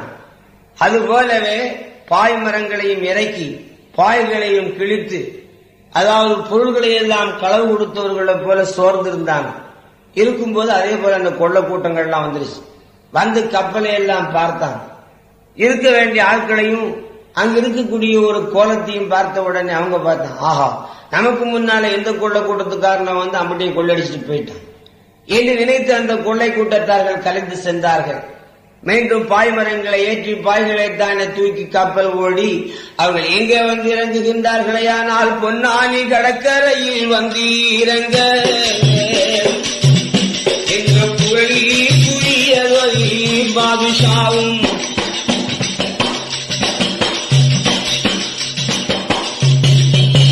பாஷா நாயகமும் அவங்களுடைய கூட்டத்தார்களுமாக பொன்னானி கடற்கரையில வந்து இறங்கினார். அப்படி பொன்னானியில் தானே வந்து இறங்கி தானும் தன்னுடைய சகாக்களுமாக. அந்த பொன்னானி நகரத்துக்குள் இன்னும் மகுதும் என்று சொல்லக்கூடிய ஒரு பெரிய மகானுடைய நந்தாவன சோலையில் தானே வந்து இறங்கி நானூத்தி நான்கு பேர்களும் மகன் யூசுஃபும் அருமை ஷா ஹமீது பாதுஷாவும் தங்கி இருக்கின்ற தருணமகில் போரிந்தியதோர் ஹமீதொலி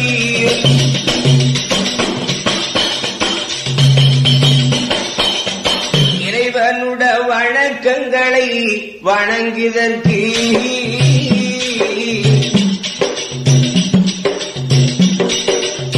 பொது செய்ய வேண்டும் என்று பாதுசாவும்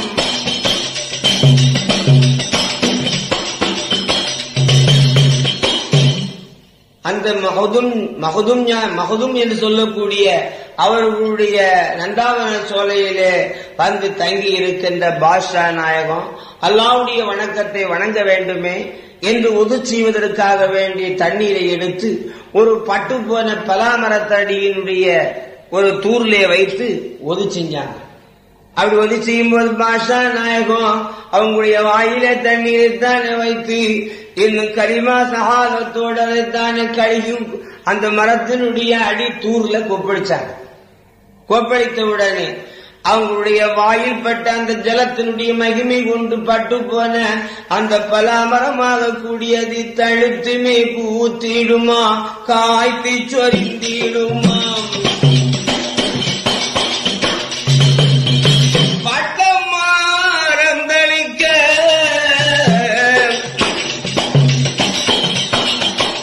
பாதுசாவின் மகிமை கொண்டு பார்த்து நின்ற ஜனங்கள் எல்லாம் மனதில் நினைத்திடுவார் பாஷா நாயகத்தினுடைய மகிமை. பட்டு போன பலாமரம் அப்படியே தடுத்து விட்டது செய்யில் மஹதூம் என்று சொல்லக்கூடிய அந்த மகானுடைய நந்தாவன சோலையிலே கண்ட ஒரு புதுமையை பார்த்த அந்த தோப்புக்கு காவக்காரன் ஓடினான். மகுதும் என்று சொல்லக்கூடிய அவங்களுடைய முன்பதாக சென்று சொல்லுகின்றார் மகானே நம்ம நந்தாவன சோலையில எங்கிருந்தோ ஒரு கூட்டங்க வந்து தங்கி இருக்கு அந்த கூட்டத்துக்கெல்லாம் தலைவர் அவங்க தொழுவதற்காக உதவி செய்து அந்த தண்ணியை நம்ம பட்டுப்போன பராமரத்தடியில தொழிச்சாங்க உடனே மறுகணம் அந்த பட்டு பலாமரம் தடுத்து விட்டேன். பார்ப்பதற்கு ரொம்ப அதிசயமாக இருக்கிறது. வாருங்கள் வந்து பாருங்கள் என்று சொன்னதும் அந்த மகுதூம் தங்கள் வருகின்றார். அந்த மகுதும் தங்கள் வந்து பார்க்கும்போது அது போன்ற ஒரு மகிமையை கண்டதும் இவர்கள் தான் ஷால் ஹமீது பாஷா நாயகம் என்று தெரிந்து கொண்டார். தெரிந்து அவங்களுக்கு மரியாதை செஞ்சாங்க. அவங்களுக்கு வேண்டுமான சௌகரியங்களை செய்து கொடுத்தாங்க. அதே போல அவர்களுக்கு நல்ல பல விருந்து உபசாரங்களை எல்லாம் செய்தார்கள். அந்த செய்து மகுதும் தங்கள் அவர்கள் செய்து முடித்து கடைசியில் சொல்லுகின்றார் மகானே அருமை பெரியோர்களே ஆனால் ஒன்று அதாவது நீங்கள் வெகு சிறப்பான முறையிலே அதாவது இப்பேற்கொற்ற ஒரு நல்ல பல அற்புதங்களை நிகழ்த்தி வருகின்ற உங்களுக்கு இந்த உலகத்தில் அவுலாது பிறக்க வேண்டியது இருக்கின்றது. மக்கள் வெளியாக வேண்டியிருக்கின்றது. ஆகையினால நீங்கள் கல்யாணம் முடித்துக் கொள்ள வேண்டும் என்று சொல்லும் போது பாஷா நாயகம் சொன்னார்கள் மகுதும் தங்கள் அவர்களே நான் கல்யாணம் முடிக்கணும் என்ற எண்ணம் என்னுடைய மனதில் கிடையாது. அப்படியானால் உங்களில் நின்று அவுலாது வெளியாக வேண்டும். என்று வற்புறுத்துகின்றார் மகுதும் தங்கள். வற்புறுத்துவதற்கு என்ன காரணம்? இந்த மகுதும் தங்கள் அவர்களும் ஒரு பெரிய வலியுல்லாவுடைய அந்தஸ்தில் உள்ளவங்க அவருக்கு ஒரே மகள். அந்த மகளை பாஷா நாயகத்துக்கு கல்யாணம் முடிச்சு வைக்கணும்னு சொல்லி அவருடைய விருப்பம். அதே நேரத்தில் அப்படி பிடிவாதமான முறையிலே சொல்லுகின்ற மகுதும் தங்கள் அருகிலே அழைத்து சொல்லுகின்றார் மகுதும் தங்கள் அவர்களே. பாருங்கள். இதோ பாருங்கள் என்று அவர்களுடைய வளர்ந்துகை ஜுப்பாவை உயர்த்தி காட்டினார்கள். காட்டிய உடனே அந்த மகுதும் தங்கள் பார்க்கின்றார். பார்க்கும் பொழுது எப்பேற்பட்ட ஒரு காட்சியை காணுகின்றார்களேயானால் சொர்க்கலோகத்துல இன்னும் அதாவது கூறாளி ரம்பேர்கள் எல்லாம் சூழ்ந்து நிற்க அவர்களை அழகிய ஊஞ்சலில் வைத்து ஆட்டிக் கொண்டிருப்பது போன்ற ஒரு காட்சியை கண்டார்களாம் செய்யது மகுதும் தங்கை இதை பார்த்ததும் அப்படியே அதிசயம் அடைந்து விட்டார். பிரமித்து விட்டார். மகானுடைய மகத்துவம் தெரியாது நாம் சொல்லிவிட்டோம் என்று மன்னிப்பும் கேட்டுக்கொண்டார் இந்த முறையிலே பாதுஷா நாயகத்தினுடைய மகிமையை தெரிந்த மகுதும் தங்கள் அவர்கள். அவர்களுக்கு வேண்டிய மரியாதைகளை செய்து மீண்டும் தானே அவர்கள் அதை விட்டு பயணப்பட்டு கப்பல் அதாவது கடற்கரை ஓரமாக பல தீவுகள் இருக்கின்றன. பல தீவுகள் என்று சொன்னால் அந்தர தீவு அதாவது மஹல்ல தீவு என்று சொல்லக்கூடிய பல தீவுகள் இருக்கின்றன. அப்படி தீவுகள் இருக்கப்பட்ட இடத்திற்கு செய்யது மகுதும் தங்களுடைய எல்லையை விட்டு பயணப்பட்டி கப்பல் துறைமு அதாவது கடற்கரை ஓரமாக வருகின்ற நேரம் அதில் எங்கள் வரிசை பெற்ற பாதுஷாவும் கடற்கரை ஓரமாக வருகின்ற நேரம் அதில் காரணர்கள் ஹமிதலியும் பாலகர்கள் யூசுபுமாய் என்னும் பாஷா நாயகமும் அவர்களுடைய அருமை கண்மணியான மகன் யூசுப் அலியுல்லாவும் நானூத்தி நான்கு பேர்களுமாகத்தான் வரும் பொழுது முஹல்லத்தீவுக்கு பயணப்பட்டாங்க. அதாவது கௌதனா முஹியுத்தீன் அப்துல் கார் ஜீலானி ஆண்டவர்களும் முஹல்லத்தீவுக்கு போய் ஒரு பெரிய தேவை பிடிச்சி அடைச்சு அந்த நாட்டை இஸ்லாம் ஆக்குனாங்க அதுபோல பாஷா நாயகம் முஹல்லத்தீவுக்கு போனாங்க. போய் அந்த நாட்டிலே தங்கி இருக்கும் போது அதே போல ஒரு பெண்ணை அழகாக முறையை ஜோடித்து அந்த பெண்ணை கெட்டி இழுத்துக்கிட்டு போறாங்க. அந்த பெண்ணு குய்யோ முறையோ என்று அழுகுங்க இரவு நேரத்தில். பாஷா நாயன் கேட்டாங்க ஏன் இந்த பெண்ணை கூட்டிட்டு போறீங்க? இந்த ஊர்ல ஒரு பெரிய ஒரு பூதம் ஒண்ணு இருக்கு. அந்த பூதம் வருஷத்துக்கு ஒரு முறை வரும். வந்து அதுக்கு இது போல ஒரு பெண்ணை நரம்பலி கொடுக்கலன்னு சொன்னா இந்த ஊர்ல யாரும் இருக்க முடியும்? அந்த அளவுக்கு பெரிய தொல்லை கொடுக்கு என்று சொன்னாங்க. உடனே பாஷா நாயன் சொன்னாங்க பாவியலா. இந்த பெண்ணை இப்படி அழைச்சிக்கிட்டு போய் ஒரு மாப்பிள்ளையை கட்டி கொடுங்க. ஆகையினால் இந்த பொண்ணை கொண்டு போவாதீங்கன்னு சொன்னாங்க. கேட்கல. மீண்டும் பாஷா நாயகன் தான் அந்த இடத்தை விட்டு சென்று ஒரு இடத்தில் தான் போய் அமர்ந்து தன்னுடைய சஹர் ஜின்னை அழைத்து சொன்னான். சொல்லி அந்த பூதம் வந்து உடனே கட்டி எடுத்துக்கிட்டாங்க அது போல அந்த பூதம் வந்தது வந்ததும் இந்த சஹர் ஜின் சென்று அந்த பூதத்தை கட்டி எடுத்துக்கொண்டு பாஷா நாயகத்துடைய முன்னால விட்டு.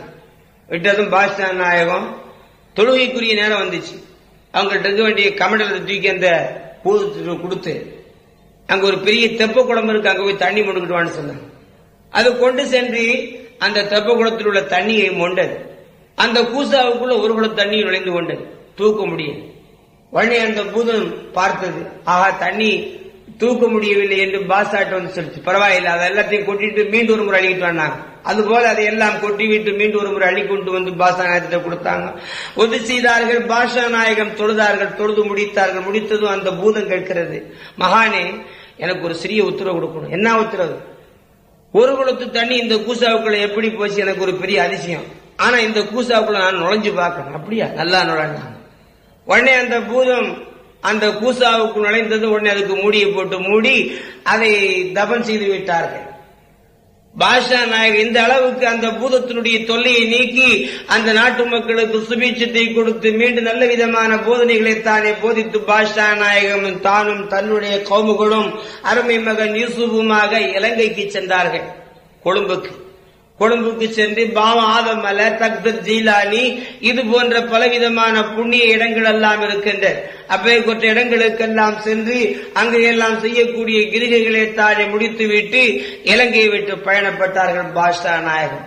பயணப்பட்டு கன்னியாகுமரி என்று சொல்லக்கூடிய எல்லைக்கு வந்து கடற்கரை ஓரமாக காயல் பட்டினான் அதாவது நெல்லை மாவட்டத்தில் காயல்பட்டினம் என்று சொன்னால் பெரிய பெரிய பிரபுகளும் பெரிய பெரிய வணிகர்களும் பெரிய பெரிய கல்கரடை வியாபாரிகளும் உள்ள இடம் காயல்பட்டினம். அதுபோல அந்த நாட்டிற்கு அந்த காயல்பட்டினத்துக்கு வந்தாங்க. அங்கேயும் ஒரு பெரிய பெரிய மரக்காயர்கள் வாழக்கூடிய அவர்கள் எல்லாம் மகானுக்கு மரியாதை செஞ்சாங்க. அவர்களுக்கு நல்ல பல நல்ல பல விருந்துகளை கொடுத்து நல்லாசியை பெற்றுக் கொண்டார்கள். இதையெல்லாம் விட்டு மீண்டும் பாஷா நாயகம் அது போலவே சுத்தி மேல பாளையத்திற்கு வந்து அங்கேயும் நாற்பது நாள் கல்வத்திருந்து விட்டு பாஷா நாயகம் அதையும் விட்டு பயணப்பட்டு தென்காசி நகராம் வந்து இறங்கிடுவார்.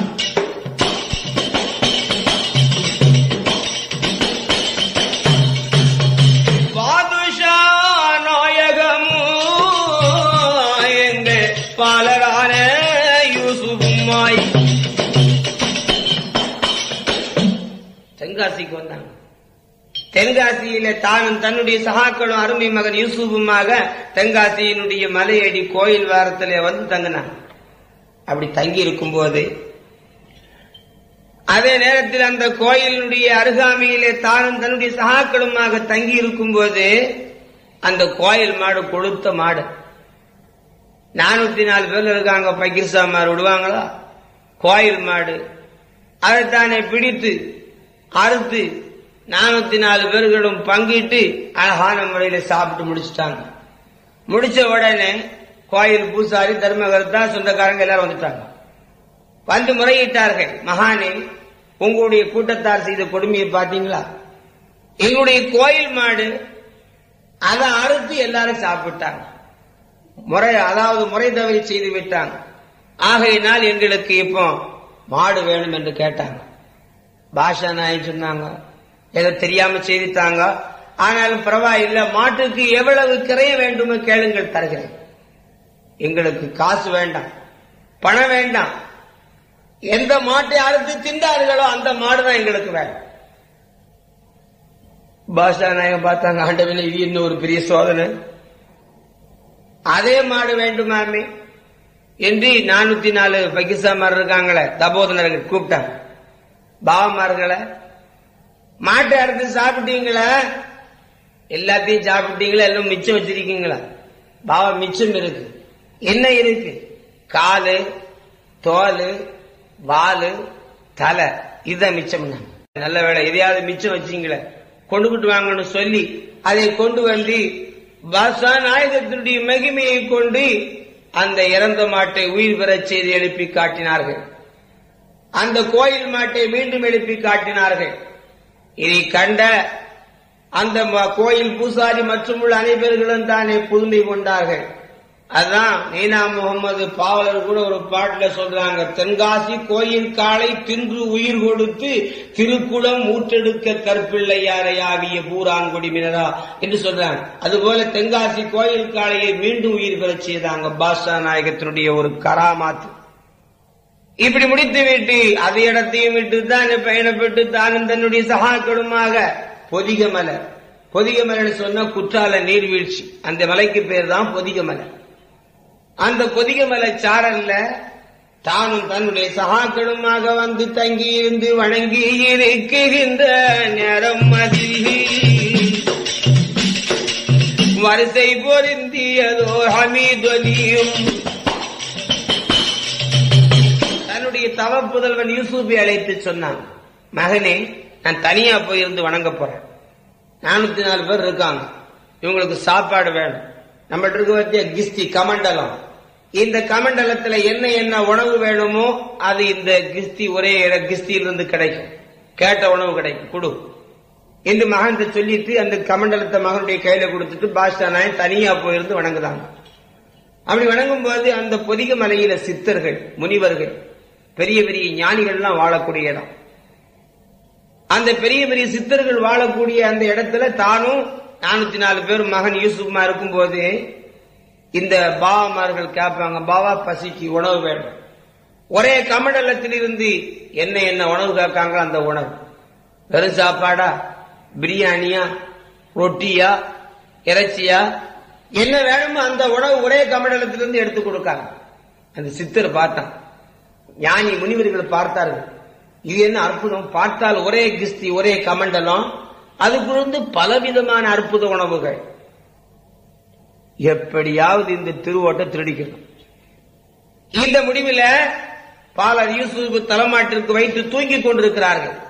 அப்படி தூங்கிக் கொண்டிருக்கும் போது அந்த சித்தர்கள் தானே இரவு நேரத்தில் வந்து அந்த யூசுபரி எல்லாம் வைத்திருக்கின்ற திருவோட்டை தானே திருடி கொண்டு போய் ஒரு பெரிய குழியை நோண்டி அதுக்குள்ள வைத்து மண்ணை தள்ளி பாண்டோல் புலித்தோல் எல்லாம் விரிச்சு எல்லாத்துக்கும் தலைவை இருந்து ஜெபம் பண்ணிக்கிட்டு இருக்கான். எந்திரிச்சு பார்த்தாங்க. கமண்டலத்தை காணும். கிஸ்தியை காணும். எல்லாத்தையும் கேட்டாங்க. முனிவத்தை கேட்டாங்க. பாஷா நாயகத்திட்ட போனாங்க பாவா திருவோட்டை காணும். யாரோ திருடிக்கிட்டாங்க. எல்லாத்தையும் காட்டி எல்லாத்தையும் காட்டேன். யாரும் எடுக்கலன்னு சொல்லிட்டாங்க. அப்படியா? போய் நின்று திருவோடை எங்க இருந்தாலும் வானு கூப்பிட்டு வந்துடும்னாங்க அது போல போய் நின்று என்னுடைய திருவோடைய வான்னு சொன்னாங்க அதுக்கு மேல இருந்து ஜெபம் பண்ணிக்கிட்டு இருக்கிற அந்த சன்னியாசியை தூக்கி தூர எரிஞ்சிட்டு திருவோடு பறந்து வந்து விட்டேன். பார்த்தான் அந்த சித்தர்கள் முனிவர்கள். இது ஒரு பெரிய அற்புதம். நாம காலமெல்லாம் வணங்கியும் இப்பேற்பட்ட அற்புதத்தை நாம பெற முடியவில்லை என்று ஓடி வந்து பாஷா நாயகத்தினுடைய கரத்தை பிடித்து முகமது இலாஹ என்று கலிமா சொல்லி ஈமான் கொண்டு இஸ்லாத்தை ஏற்றுக்கொண்டார்கள். கோமான் பொதிகை சித்தர் ஆயிரம் பேர் இஸ்லாம் ஈமான் கொண்டிட செய்த சீமானே காதிரி திருமணி என்று அப்பா பாடுகின்றார். கோமான் பொதிகமல பொதிகமலையில சித்தர்கள் ஆயிரம் பேர் இஸ்லாத்தை தழுவினார்களாம். பாஷா நாயகத்தினுடைய மகிமையை பார்த்து இப்படி பல அற்புதங்களையும் காட்டி ஆய்க்குடி என்று சொல்லக்கூடிய ஊர்ல மான்குட்டிக்கு பால் கேட்டாங்க. அந்த ஊர்ல பால் பீச்சு கொண்டிருந்த ஒரு பெண்மணி சொன்னாங்க என்னுடைய வீட்டுல பால் இல்லை என்று சொன்னார்கள். பாஷா நாயகத்திட்ட வந்து சொன்னாங்க அவங்க இந்த ஊர்ல பால் இல்லையா? ஒரு அம்மா பால் பீச்சுக்கிட்டு இருக்காங்க கேட்டேன் இல்லைன்னு சொல்லிட்டாங்க. அப்படியா? பாலே இல்லையன்னாங்க. அந்த மாட்டுக்கு பால் இல்லை அந்த வீட்டுக்கு பால் கொடுக்கிற அந்த அம்மாவுக்கு பால் இல்லை அங்கு இருக்க வேண்டிய அத்தனை மாட்டுக்கும் பால் இல்லாமல் போச்சு. பாஷா நாயகன் சொன்ன வாக்கு.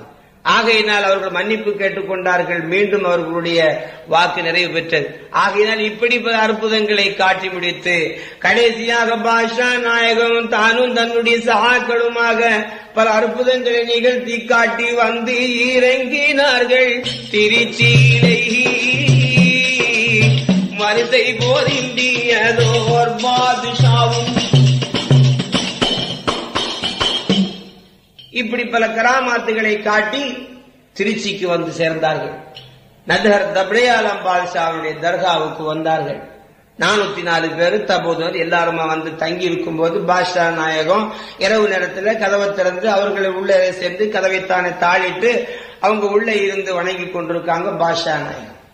அப்படி வணங்கி இருக்கும்போது ராத்திரி வேளையில அந்த பள்ளிவாசலுடைய ஹாத்தி ஹிதுமத்தை செய்யக்கூடியவர் வந்து பார்த்தார். திறவுகோல் போட்டு திறக்க வேண்டிய வழியின் இம்பர் வழியாக உள்ளே பார்க்கின்றார். பார்க்கும்போது ஏக ஒளிவாக தெரிகிறது. அந்த ஒளிவிலே இரண்டு பேர்கள் பேசிக் கொண்டிருப்பதை போன்று தெரிகிறது. அந்த பேசிக் கொண்டிருக்கக்கூடியவர்கள் ஏதோ ஒரு உணவை சாப்பிடுவதையும் பார்க்கின்றார். வெளியே நிற்கின்ற இந்த ஹாத்தி நினைக்கின்றார். ரெண்டு பேரையும் பிரிந்து பேசிக்கிட்டு இருக்காங்க. ஏதோ ஒரு உணவை சாப்பிடுறாங்க. என்ன உணவு தெரியலையே. நமக்கும் கொஞ்சம் கிடைத்தார் என்று நினைத்தார். பாஷா நாயகத்துக்கு தெரிந்தது. உடனே எழுந்திரித்து வந்து கதவை திறந்து அவங்க சாப்பிட்டு கொண்டிருந்த அந்த உணவை அவருக்கும் கொடுத்தார்களாம். கொடுத்ததும் அவர்கள் பசியாறினார் அல்லாவுடைய அருளும் ஞானமும் பொங்கி அவர்களும் ஒரு ஒலியில்லாவுடைய அந்தஸ்தை பெற்றார்களாம். சரித்திரம் சொல்லுகின்றேன் இந்த அளவுக்கு நதுகர் பாஷாவுடைய எல்லையிலே தங்கி இருந்து பல அற்புதங்களையும் காட்டி முடித்து அதையும் விட்டுத்தான் பயணப்பட்டு திருச்சியை விட்டுத்தான் எழும்பருளியாகி எங்கே வருகின்றார்களே? ஆனால் சோழ நாட்டுடைய அல்ல. தஞ்சினா தஞ்சை தஞ்சாவூருக்குள்ள பாதுஷாவும் பாஷா நாயகத்தினுடைய சகாக்களுமாக வருகின்ற தருணமாவில் வள்ளலான ஹமீதொலியின் காரணம்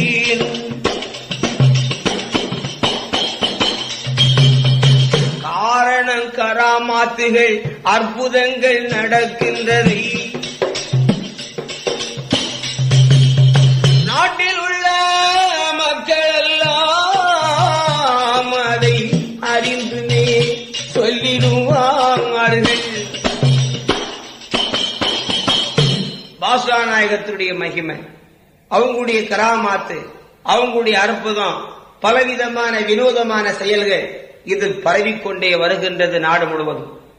தஞ்சைக்குள் வருகிறார்கள் என்று தெரிந்ததும் அந்த நாளையில் தஞ்சாவூரை ஆளக்கூடிய மன்னனுடைய பெயர் அச்சுதப்ப நாயக்கன். அந்த அச்சுதப்ப நாயக்கனுக்கு அவனை கொல்ல வேண்டும் என்று பல ஏவல்கள் மூலமாக அவனுக்கு பெரிய மாந்திரீக வேலை செய்து அவன் கை கால்களை முடக்கப்பட்டு நடக்க முடியாதவனாக எழுந்திரித்து செல்ல முடியாதவனாக ஊனின்றி உறக்கமின்றி ரொம்ப அவஸ்தைப்பட்டுக் கொண்டிருக்கின்றான் அந்த அச்சுதப்ப நாயக்கன். ஆனால் பாஷா நாயகம் வருகிறார்கள் என்ற செய்தி தெரிந்த அச்சுதப்ப நாயக்கன் மந்திரிகளையும் மற்றவர்களையும் அழைத்து சொன்னான். யாரோ ஒரு பெரிய மகான் வர்றாங்க. அவங்க இடத்துல போய் என்னுடைய செய்தியை சொல்லு. நிச்சயமா அதுக்கு அவங்க ஒரு முடிவு செய்வாங்க என்று சொன்ன அதுபோல மந்திரி மற்றவர்களும் தானே எதிர் சென்று பாதுஷாவினுடைய வருகையை தான் எதிர்பார்த்து அவர்களை பணிந்து நடந்த சம்பவங்களை சொன்னார்கள். சொன்ன உடனே பாஷா நாயக் சொன்னாங்க பரவாயில்லை. ஆகையினால் அவனுடைய நோய் நிவர்த்திக்கப்படும் நீ நான் வருகிறேன் என்று சொன்னான் அதுபோல அவர்கள் சென்று சொன்னார்கள் அதுபோல பால்சா நாயகமும் அரமனைக்கு சென்றார்கள். சென்றவுடனே அன்போடு வரவேற்று இருக்கை செய்து அப்பொழுது அந்த அச்சுதப்ப நாயக்கனை அழைத்து வரச் செய்தார்கள். தூக்கி கொண்டு போனார்கள். போனதும் பாதுஷாவுடைய காலடியிலே கிடத்தப்பட்டிருக்கின்ற அவனுடைய நிலையை கண்டதும் பாதுஷா நாயகன் தன்னோடு வந்த ஒரு பக்கீரை அழைத்து ஒரு சீசரை அழைத்து சொன்னார்கள். இந்த அரசனுடைய அரமனைக்கு மேமாடியில வடக்கு மூலையில ஒரு புறா குத்துயிராக கிடக்கிறது. அந்த புறாவை எடுத்துக்கொண்டு வான்னு சொன்னாங்க. அதுபோல அவர்கள் சென்று குத்துயிரும் குறவுயிருமாக கிடக்கின்ற அந்த புறாவை எடுத்துக்கொண்டு வந்து பாஷா நாயகத்துடைய கையில கொடுத்தாங்க. கொடுத்த உடனே பாஷா நாயகம் அந்த புறாவிலே செய்யப்பட்டிருக்கின்ற செய்வன வஞ்சன எந்த முறையிலே ஒவ்வொரு கணுகளுக்கும் ஒவ்வொரு மொழிகளுக்கும் ஊசி இறக்கப்பட்டிருக்கின்றது. அந்த ஊசி ஒவ்வொன்றையும் எடுக்க எடுக்க இவன் முடங்கி கிடக்கின்ற கைகால்கள் எல்லாம் நிமிர்ந்து இன்னும் சலாமத்தும் தேக ஆரோக்கியமும் சௌக்கியமும் அடைந்தான். ஆகவே அச்சுதப்ப நாயக்கருக்கு பிடித்திருந்த அந்த பிடி அந்த வஞ்சனையினுடைய செயல் மாறி அவன் எழுந்திருந்ததும் பாதுஷா நாயகத்தினுடைய பாதத்தை பணிந்து சொல்லுகின்றான் மகானே. என்னுடைய உயிரை மீட்டி தந்த மகானே தாங்கள் என்ன கேட்கின்றீர்களோ தருவதற்கு நான் காத்திருக்கின்றேன். சொல்லுங்கள் மகானே. என்று கேட்கின்றான் அச்சுதப்ப நாயக்கன் பாஷா நாயன் சொன்னான் அதற்கு கால வரும் நான் கேட்பேன் அப்ப நீ தர வேண்டும். சரி என்று சம்மதித்தார். ஆகவே அதுபோல பாஷா நாயகம் தன்னுடைய சகாக்களையும் தன்னுடைய கூட்டத்தார்களையும் மகனையும் அழைத்துக் கொண்டு தஞ்சாவூர் எல்லையை விட்டு பயணப்பட்டு வருகின்றார்கள். அப்படி வரக்கூடிய வழியில அதாவது பண்டாரவாடை என்று சொல்லப்பட்ட ஊர்ல பாஷா நாயகத்தினுடைய கூட்டமும் அவங்களுடைய மகனுமாக வந்து கொண்டிருக்கும் போது அந்த ஊர்ல பள்ளிவாச கட்டணும். பள்ளிவாச கட்டினாங்க நாலு தூண் இல்ல பள்ளிவாச கட்டி முடியவும் இல்லை. இந்த நிலையிலே பாஷா நாயகம் போய் தங்கிய அந்த ஊர் மக்கள் சொன்னார்கள் மகானி எங்க ஊர் பள்ளிவாச கட்டணும். ஆனா நாங்கள் எல்லாம் ரொம்ப அதாவது வறுமையான வறுமையான மக்களாகவும் அதாவது கெட்டுவதற்கு வசதி வாய்ப்பு இல்லாத மக்களாகவும் இருக்கிறோம். நாலு தூண் வேணும்னா அப்படியா? இந்த ஊருக்கு மேற்கு ஒரு பெரிய ஆலமரம் இருக்கிறது அந்த ஆலமரத்தை வெட்டி கீழே தோண்டி பாருங்க நாலு செம்பு இருக்கும்னு சொன்னாங்க. அது போல தோண்டி பார்த்தாங்க நாலு செம்பு இருந்தது. கொண்டு வந்து நிறுத்தி பள்ளியாச கேட்டினாங்க. அந்த ஊருடைய பெயர் தான் அதாவது பண்டாரவாடை.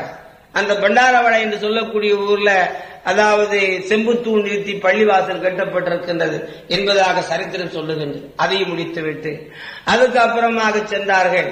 செல்லும் பொழுது திருவாரூர். திருவாரூர் என்னுடைய திருவாரூருடைய நகரத்துக்கு திருவாரூருக்கு சென்றதும் தானும் தன்னுடைய சகாக்களுமாக வந்து இருக்கின்ற நேரமாதில் வரிசை பொருந்திய நாயகம்.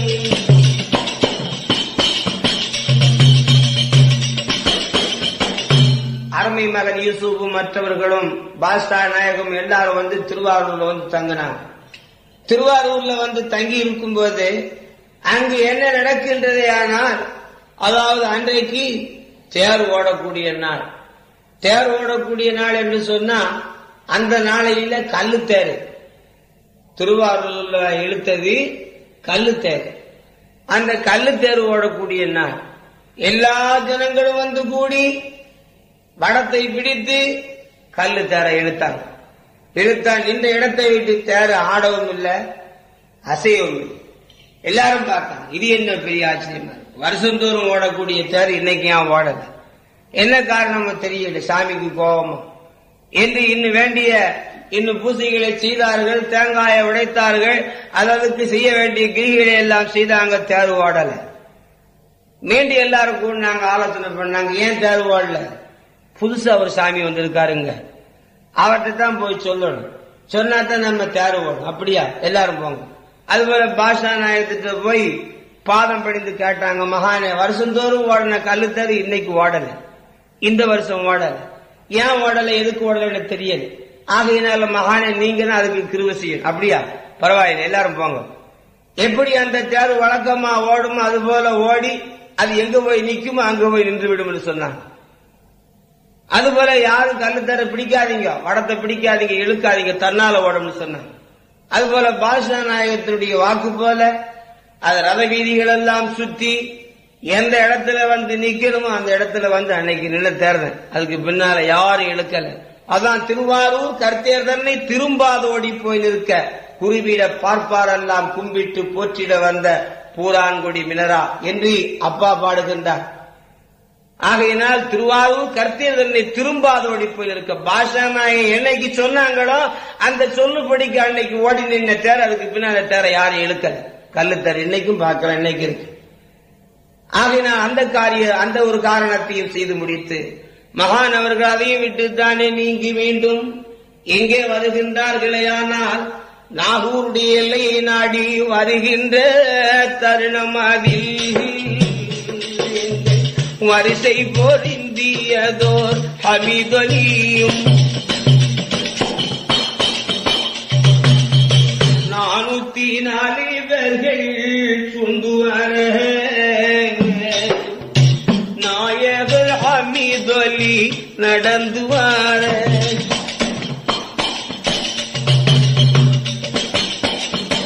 பாஷா நாயகம் எல்லாரும் நடந்து வர்றாங்க நடந்து பயணப்பட்டு வரும்போது ஒரு ஊர் பக்கம் வந்தாங்க. ஒரு ஏர் உழவன்.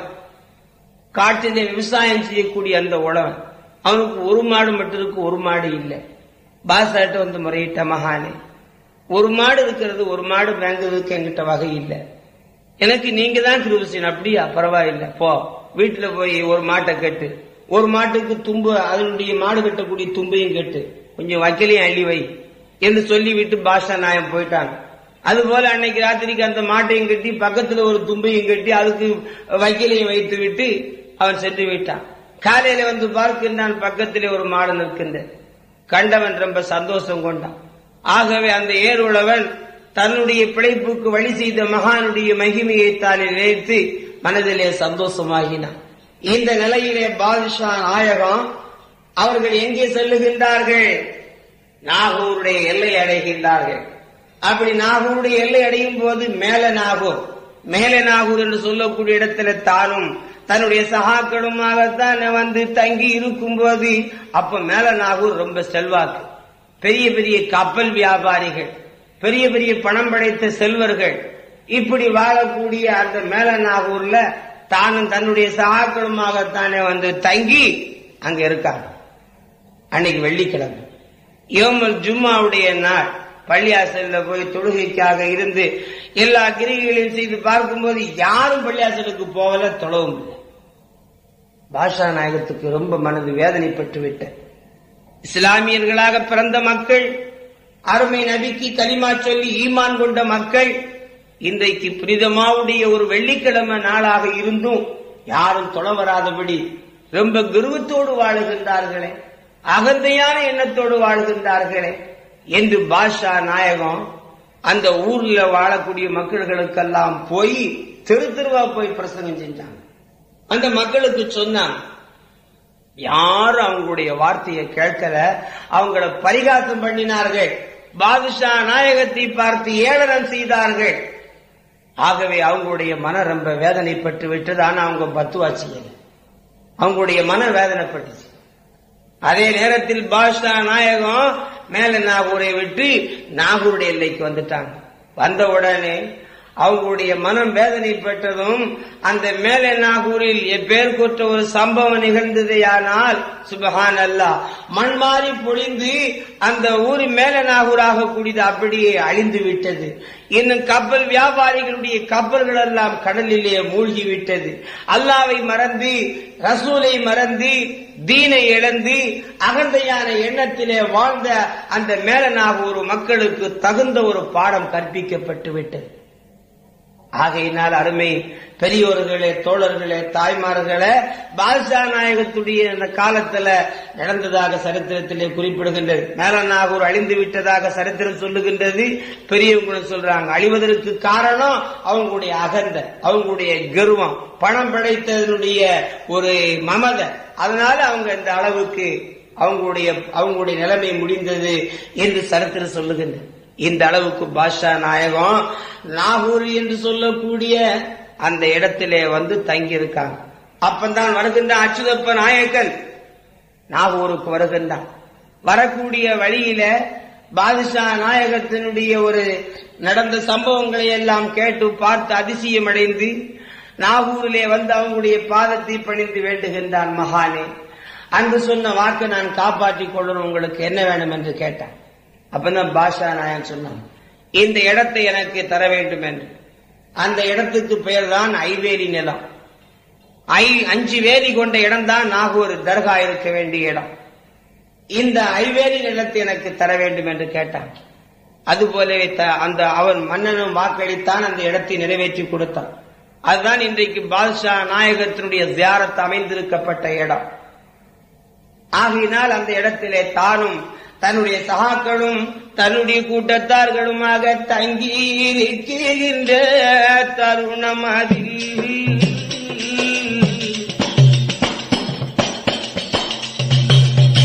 ஷாகுல் ஹமீதொலி நாயகமும்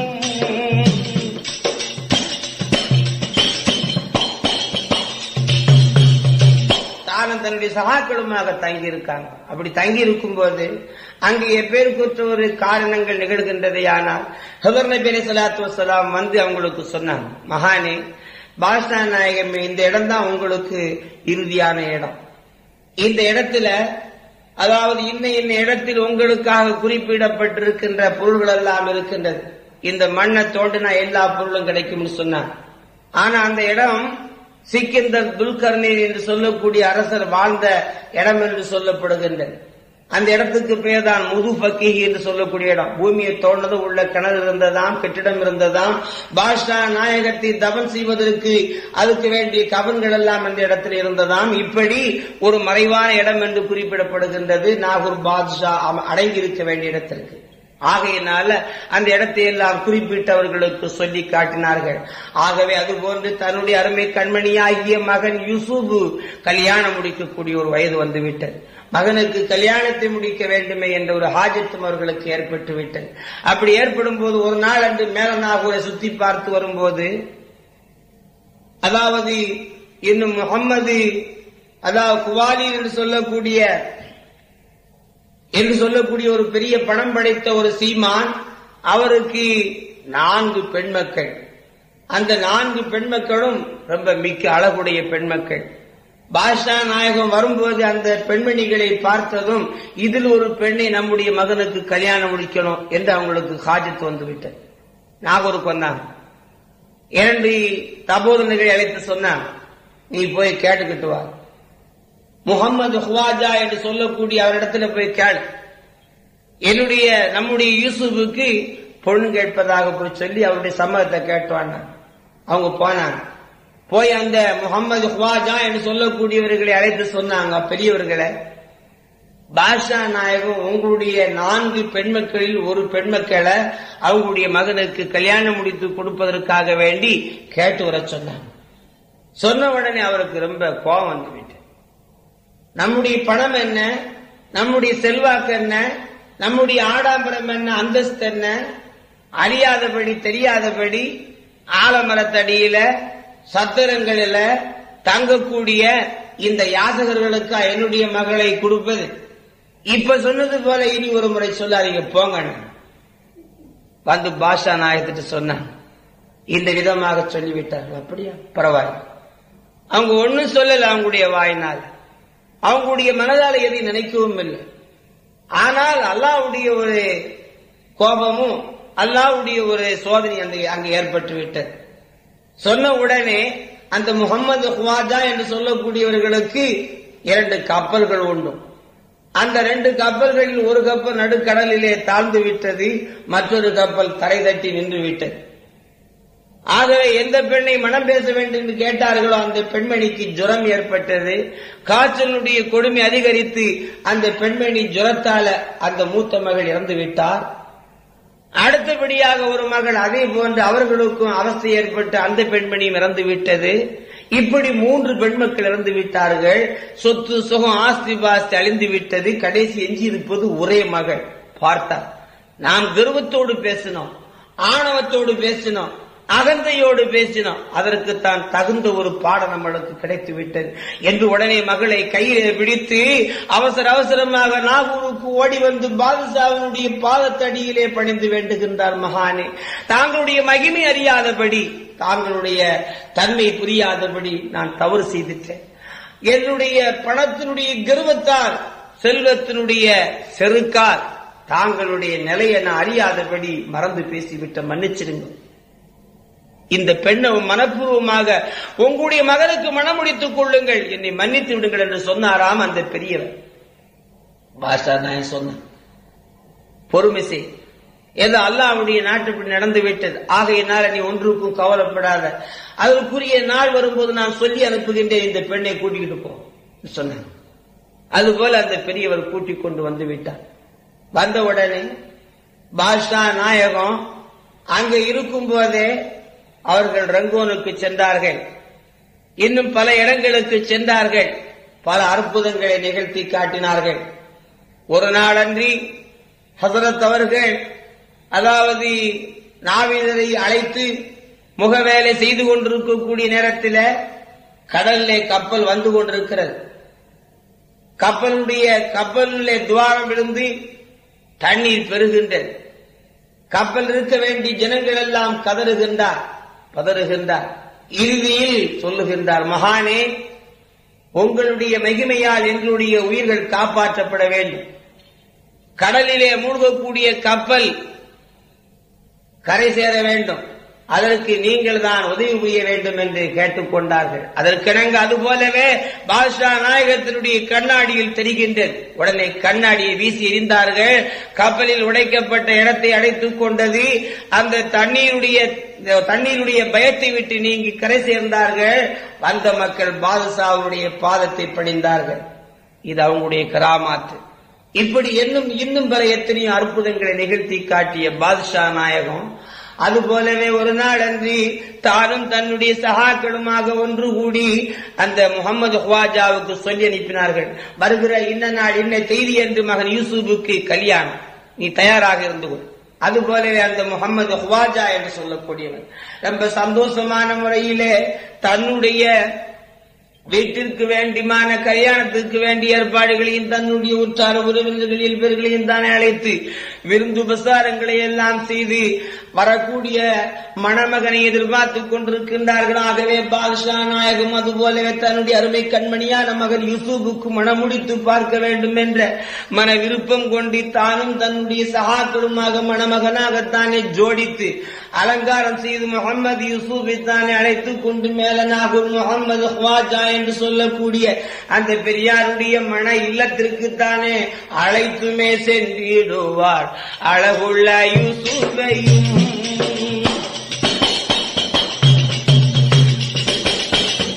மணமகனை அழைத்து சென்று அந்த மணாளியின் இல்லமலில். நானூத்தி நாலு பேர்கள். தபோதனர்கள்.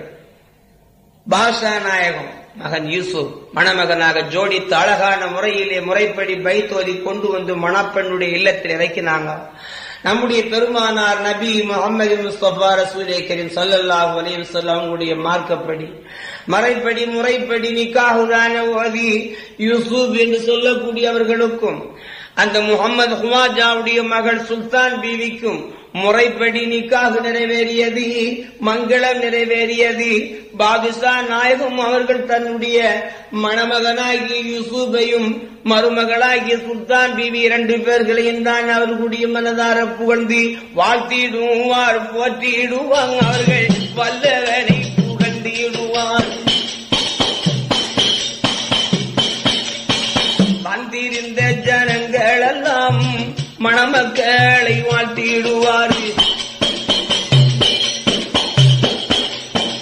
மங்களங்கள் பாடிடுவார் மன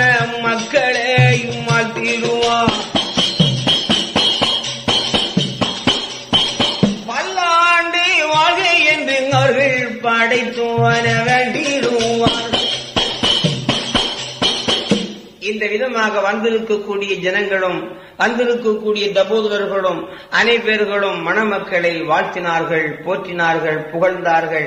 பல்லாண்டு வாழ்க வாழ்க என்று ஆண்டவனைத்தானே வேண்டினார்கள்.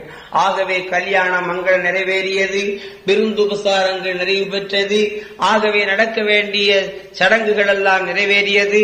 அதன் பின்பு பாதுஷா நாயகமும் தன்னுடைய அருமை கண்மணியாகிய மக்க மகன் யூசுஃபும் நானூத்தி நான்கு பேர்களும் மற்ற அனைவர்களுமாகத்தானே ஒன்றாக கூடி நாகூருக்கு வந்து முது பக்கீகி என்று சொல்லக்கூடிய இடத்தில் தானே புதுமண மக்களுக்காகத்தானே அவர்களுக்கு வா- அவர்கள் வசிப்பதற்கு அவர்கள் இருப்பதற்கு தகுந்த இட வசதிகளைத்தானே செய்து கொடுத்து தானும் தன்னுடைய மனைவியாகிய சுல்தான் பீவியும் தந்தையாகிய பாவா ஹசரத் ஷாகுல் அமீது பாதுஷா நாயகமும் நானூத்தி நான்கு தபோதர்களுமாக நாகூர் என்று சொல்லக்கூடிய சிறப்பு வாய்ந்த இடத்திலே சீரோடு சிறப்போடு செல்வத்தோடு மங்களமாய் வாழ்ந்தே வாரார். மணமகன்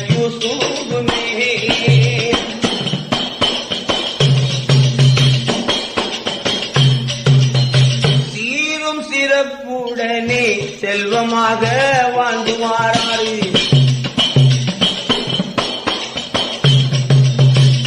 இந்த முறையிலே பாஷா நாயகத்தினுடைய துவா பறக்கத்தை கொண்டு யூசுஃபும் தன்னுடைய மணப்பெண்ணாகிய சுல்தாம்பியும் சீரோடு சிறப்போடு செல்வத்தோடு வாழ்ந்து வருகின்றார் நாகூரில். ஆகவே அவர்களும் அல்லாவுடைய கிருபையினால் பல மக்களையும் பெற்று பண்போடு வாழ்ந்து வருகின்றார்.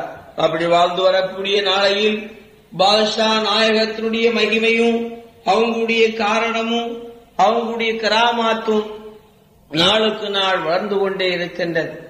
ஒரு நாளன்றி பாதுஷா நாயகம் அவர்கள் நாகூரிலே இருந்து கொண்டிருக்கும் பொழுது இன்னும் பாப்பாவூர் என்று சொல்லக்கூடிய ஒரு ஊர்ல இருந்து ஒரு பெரிய ஒரு செல்வம் படைத்த ஒரு சீமான் வருகின்றார் விருந்துக்கு சொல்லுகின்றார். சொல்லி அது போலவே விருந்துக்கு சொல்லி அழைத்துக் கண்டு சென்றவர் வீட்டிற்கு விருந்தை கொடுத்து சொல்லுகின்றார் மகானே இரண்டு கப்பல்கள் உண்டும் வியாபாரத்துக்கு சென்றது. சென்ற கப்பல் இன்னும் திரும்பவில்லை. அது என்ன ஆனது? அது எந்த விதத்திலே கடலிலே போய் தாழ்ந்தது என்பதை பற்றி எனக்கு தெரியவில்லை மகானே. உங்களுடைய ஒரு மகிமையை கொண்டு சென்ற கப்பல் சிறப்பாக திரும்பி வர வேண்டும் என்று சொன்னார். பாஷா நாயகம் இதை கேட்டு விருந்தை சாப்பிட்டு முடித்து வீட்டை விட்டு புறப்படும் போது அவர்கள் இரண்டு தலகணி எடுத்துக் கொண்டார்கள்.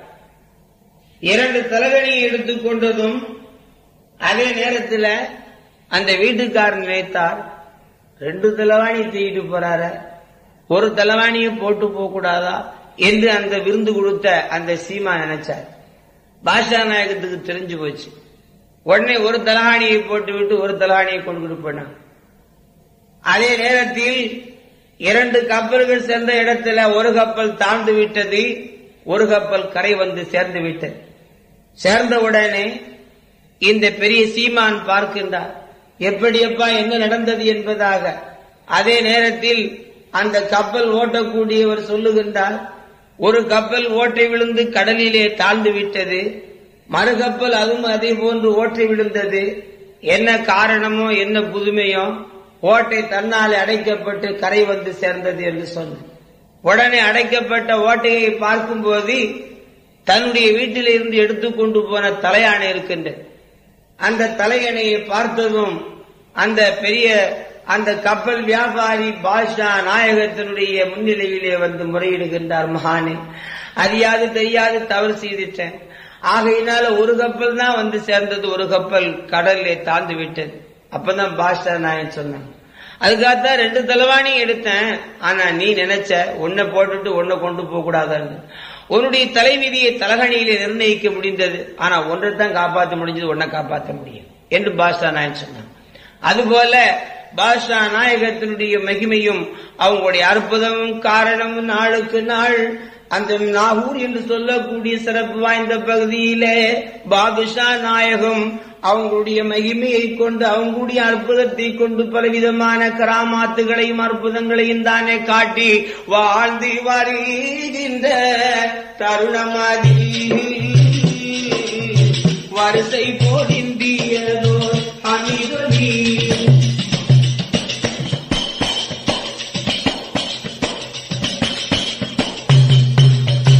பாஷா நாயகம் ஒரு நாள் அவங்களுடைய கை ஜுப்பா சட்டை நினைந்திருக்கிறது மகன் கேட்கின்றார். தபோதனர்கள் கேட்கின்றார். என்ன காரணம் பாவா கை நினைந்திருக்கிறது? என்று சொல்லும் போது அதனுடைய மகிமை நீங்கள் தெரிந்து கொள்வீர்கள் என்று சொன்னார். சொல்லி சிறிது நேரத்தில் ஒரு கூட்டமே வருகின்றது. ஓடி வந்து பாஷா நாயகத்துடைய பாலத்தை பணிந்து சொல்லுகின்ற மகானே ஏதோ ஆண்டவனுடைய ஒரு கிருபை உங்களுடைய மகிமை நாங்க உயிர் தப்பி வந்தோம்னு சொன்னாங்க. எப்படி உயிர் தப்பி வந்தீர்கள்? அப்பதான் சொன்னாங்க? ஏதோ ஒரு கைகுண்டு எங்களுடைய கப்பலை தழுவதை போன்று தெரிந்தது. அவ்வளவுதான். நாங்க கடலுடைய ஒரு பயத்தை விட்டு நீங்கி நாங்கள் கரை சேர்க்கப்பட்டோம். அப்பதான் மகனும் மற்றவர்களும் தெரிந்து கொண்டார்கள் பாபாவுடைய மகிமையை பற்றி. இப்படி பல அற்புதங்களை தானே தெரிந்ததும் பாஷா நாயகம் தானும் தன்னுடைய சகாக்களுமாக தங்கி இருக்கின்ற தருணமதில். சங்கை போரிந்தியதோ நாகூரிலே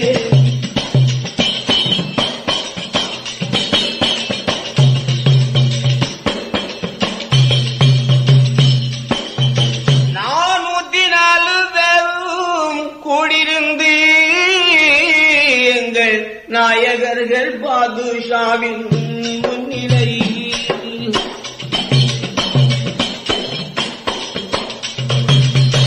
நல்வாக்கு பெற்றிடுவார் எங்கள் நாயகரி அமிதொலியின்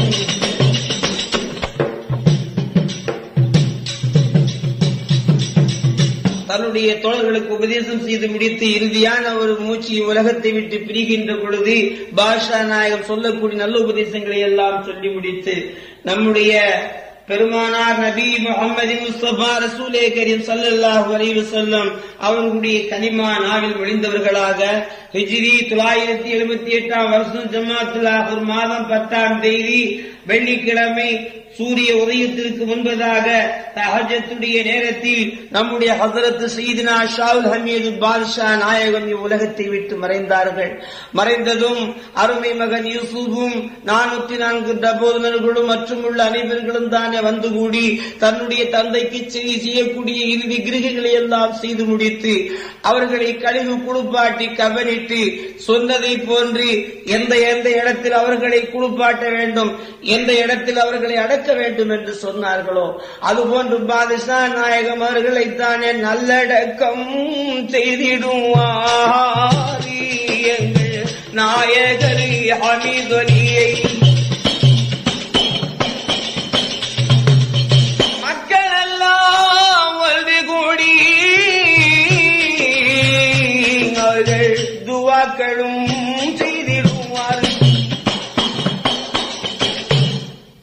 இன்னும் அவர்களை நல்லடக்கம் செய்து முடித்து மகன் யூசுஃபும் மற்றும் உள்ள சகாக்களும் அனைவர்களும் அவர்களுடைய தியானத்தில் நின்றும் அவர்களுக்கு செய்யக்கூடிய இறுதி மரியாதைகளை தானே செய்து அவங்களுடைய நல்ல உபதேசங்களை அவங்களுடைய நல்ல ஆசையும் பெற்றுக்கொண்டு இந்த நாகூர் பதி என்று சொல்லக்கூடிய சிறப்பு வாய்ந்த இடத்தில செய்யதினா ஷாவுல் ஹமீது மாதுஷா நாயகத்தினுடைய கூட்டத்தார்களாகிய நானூத்தி நான்கு தபோதனர்கள் அவர்கள் தான் நாலு பிரிவாக உள்ளவர்கள். நாலு பிரிவாக இன்னும் பானுவா ஜலாலி தபகாத்தி இன்னும் அதாவது ரிபாயி என்று சொல்லக்கூடிய முறையில வரக்கூடிய வகீல்கள் எல்லாம் இன்றைக்கு எந்த எந்த முறைப்படி நடக்க வேண்டும் என்று அன்று சொன்னார்களோ அதன்படி நடந்து கொண்டு வருகின்றன ஆகவே நாகூர் பாதுஷா நாயகத்தினுடைய காரணம் வளர்ந்து கொண்டு வருகின்றன இந்த முறையிலே நாகூரிலே வெகு சிறப்பான முறையிலே ஷீதினா ஷாவுல் ஹமீது பாதுஷா நாயகம் அவர்களுடைய அடக்க ஸ்தலமாகிய அந்த புண்ணிய ஸ்தலமாகிய இடத்திற்கு பல்லாயிரக்கணக்கான மக்களும் சென்று அவங்களுடைய ஜியாரத்தினுடைய ஒரு ஜியாரத்தினுடைய ஒரு பெருமையும் பெற்று என் அவருடைய துவாபரக்கத்தையும் பெற்று வெகு சிறப்பான முறையிலே நடந்து கொண்டிருக்கின்றது. ஆகவே நாகூர் பாதுஷா ஹமீது நாயகத்தினுடைய ஒரு காரணம் ஒரு கராமாத்து இம்மட்டோடு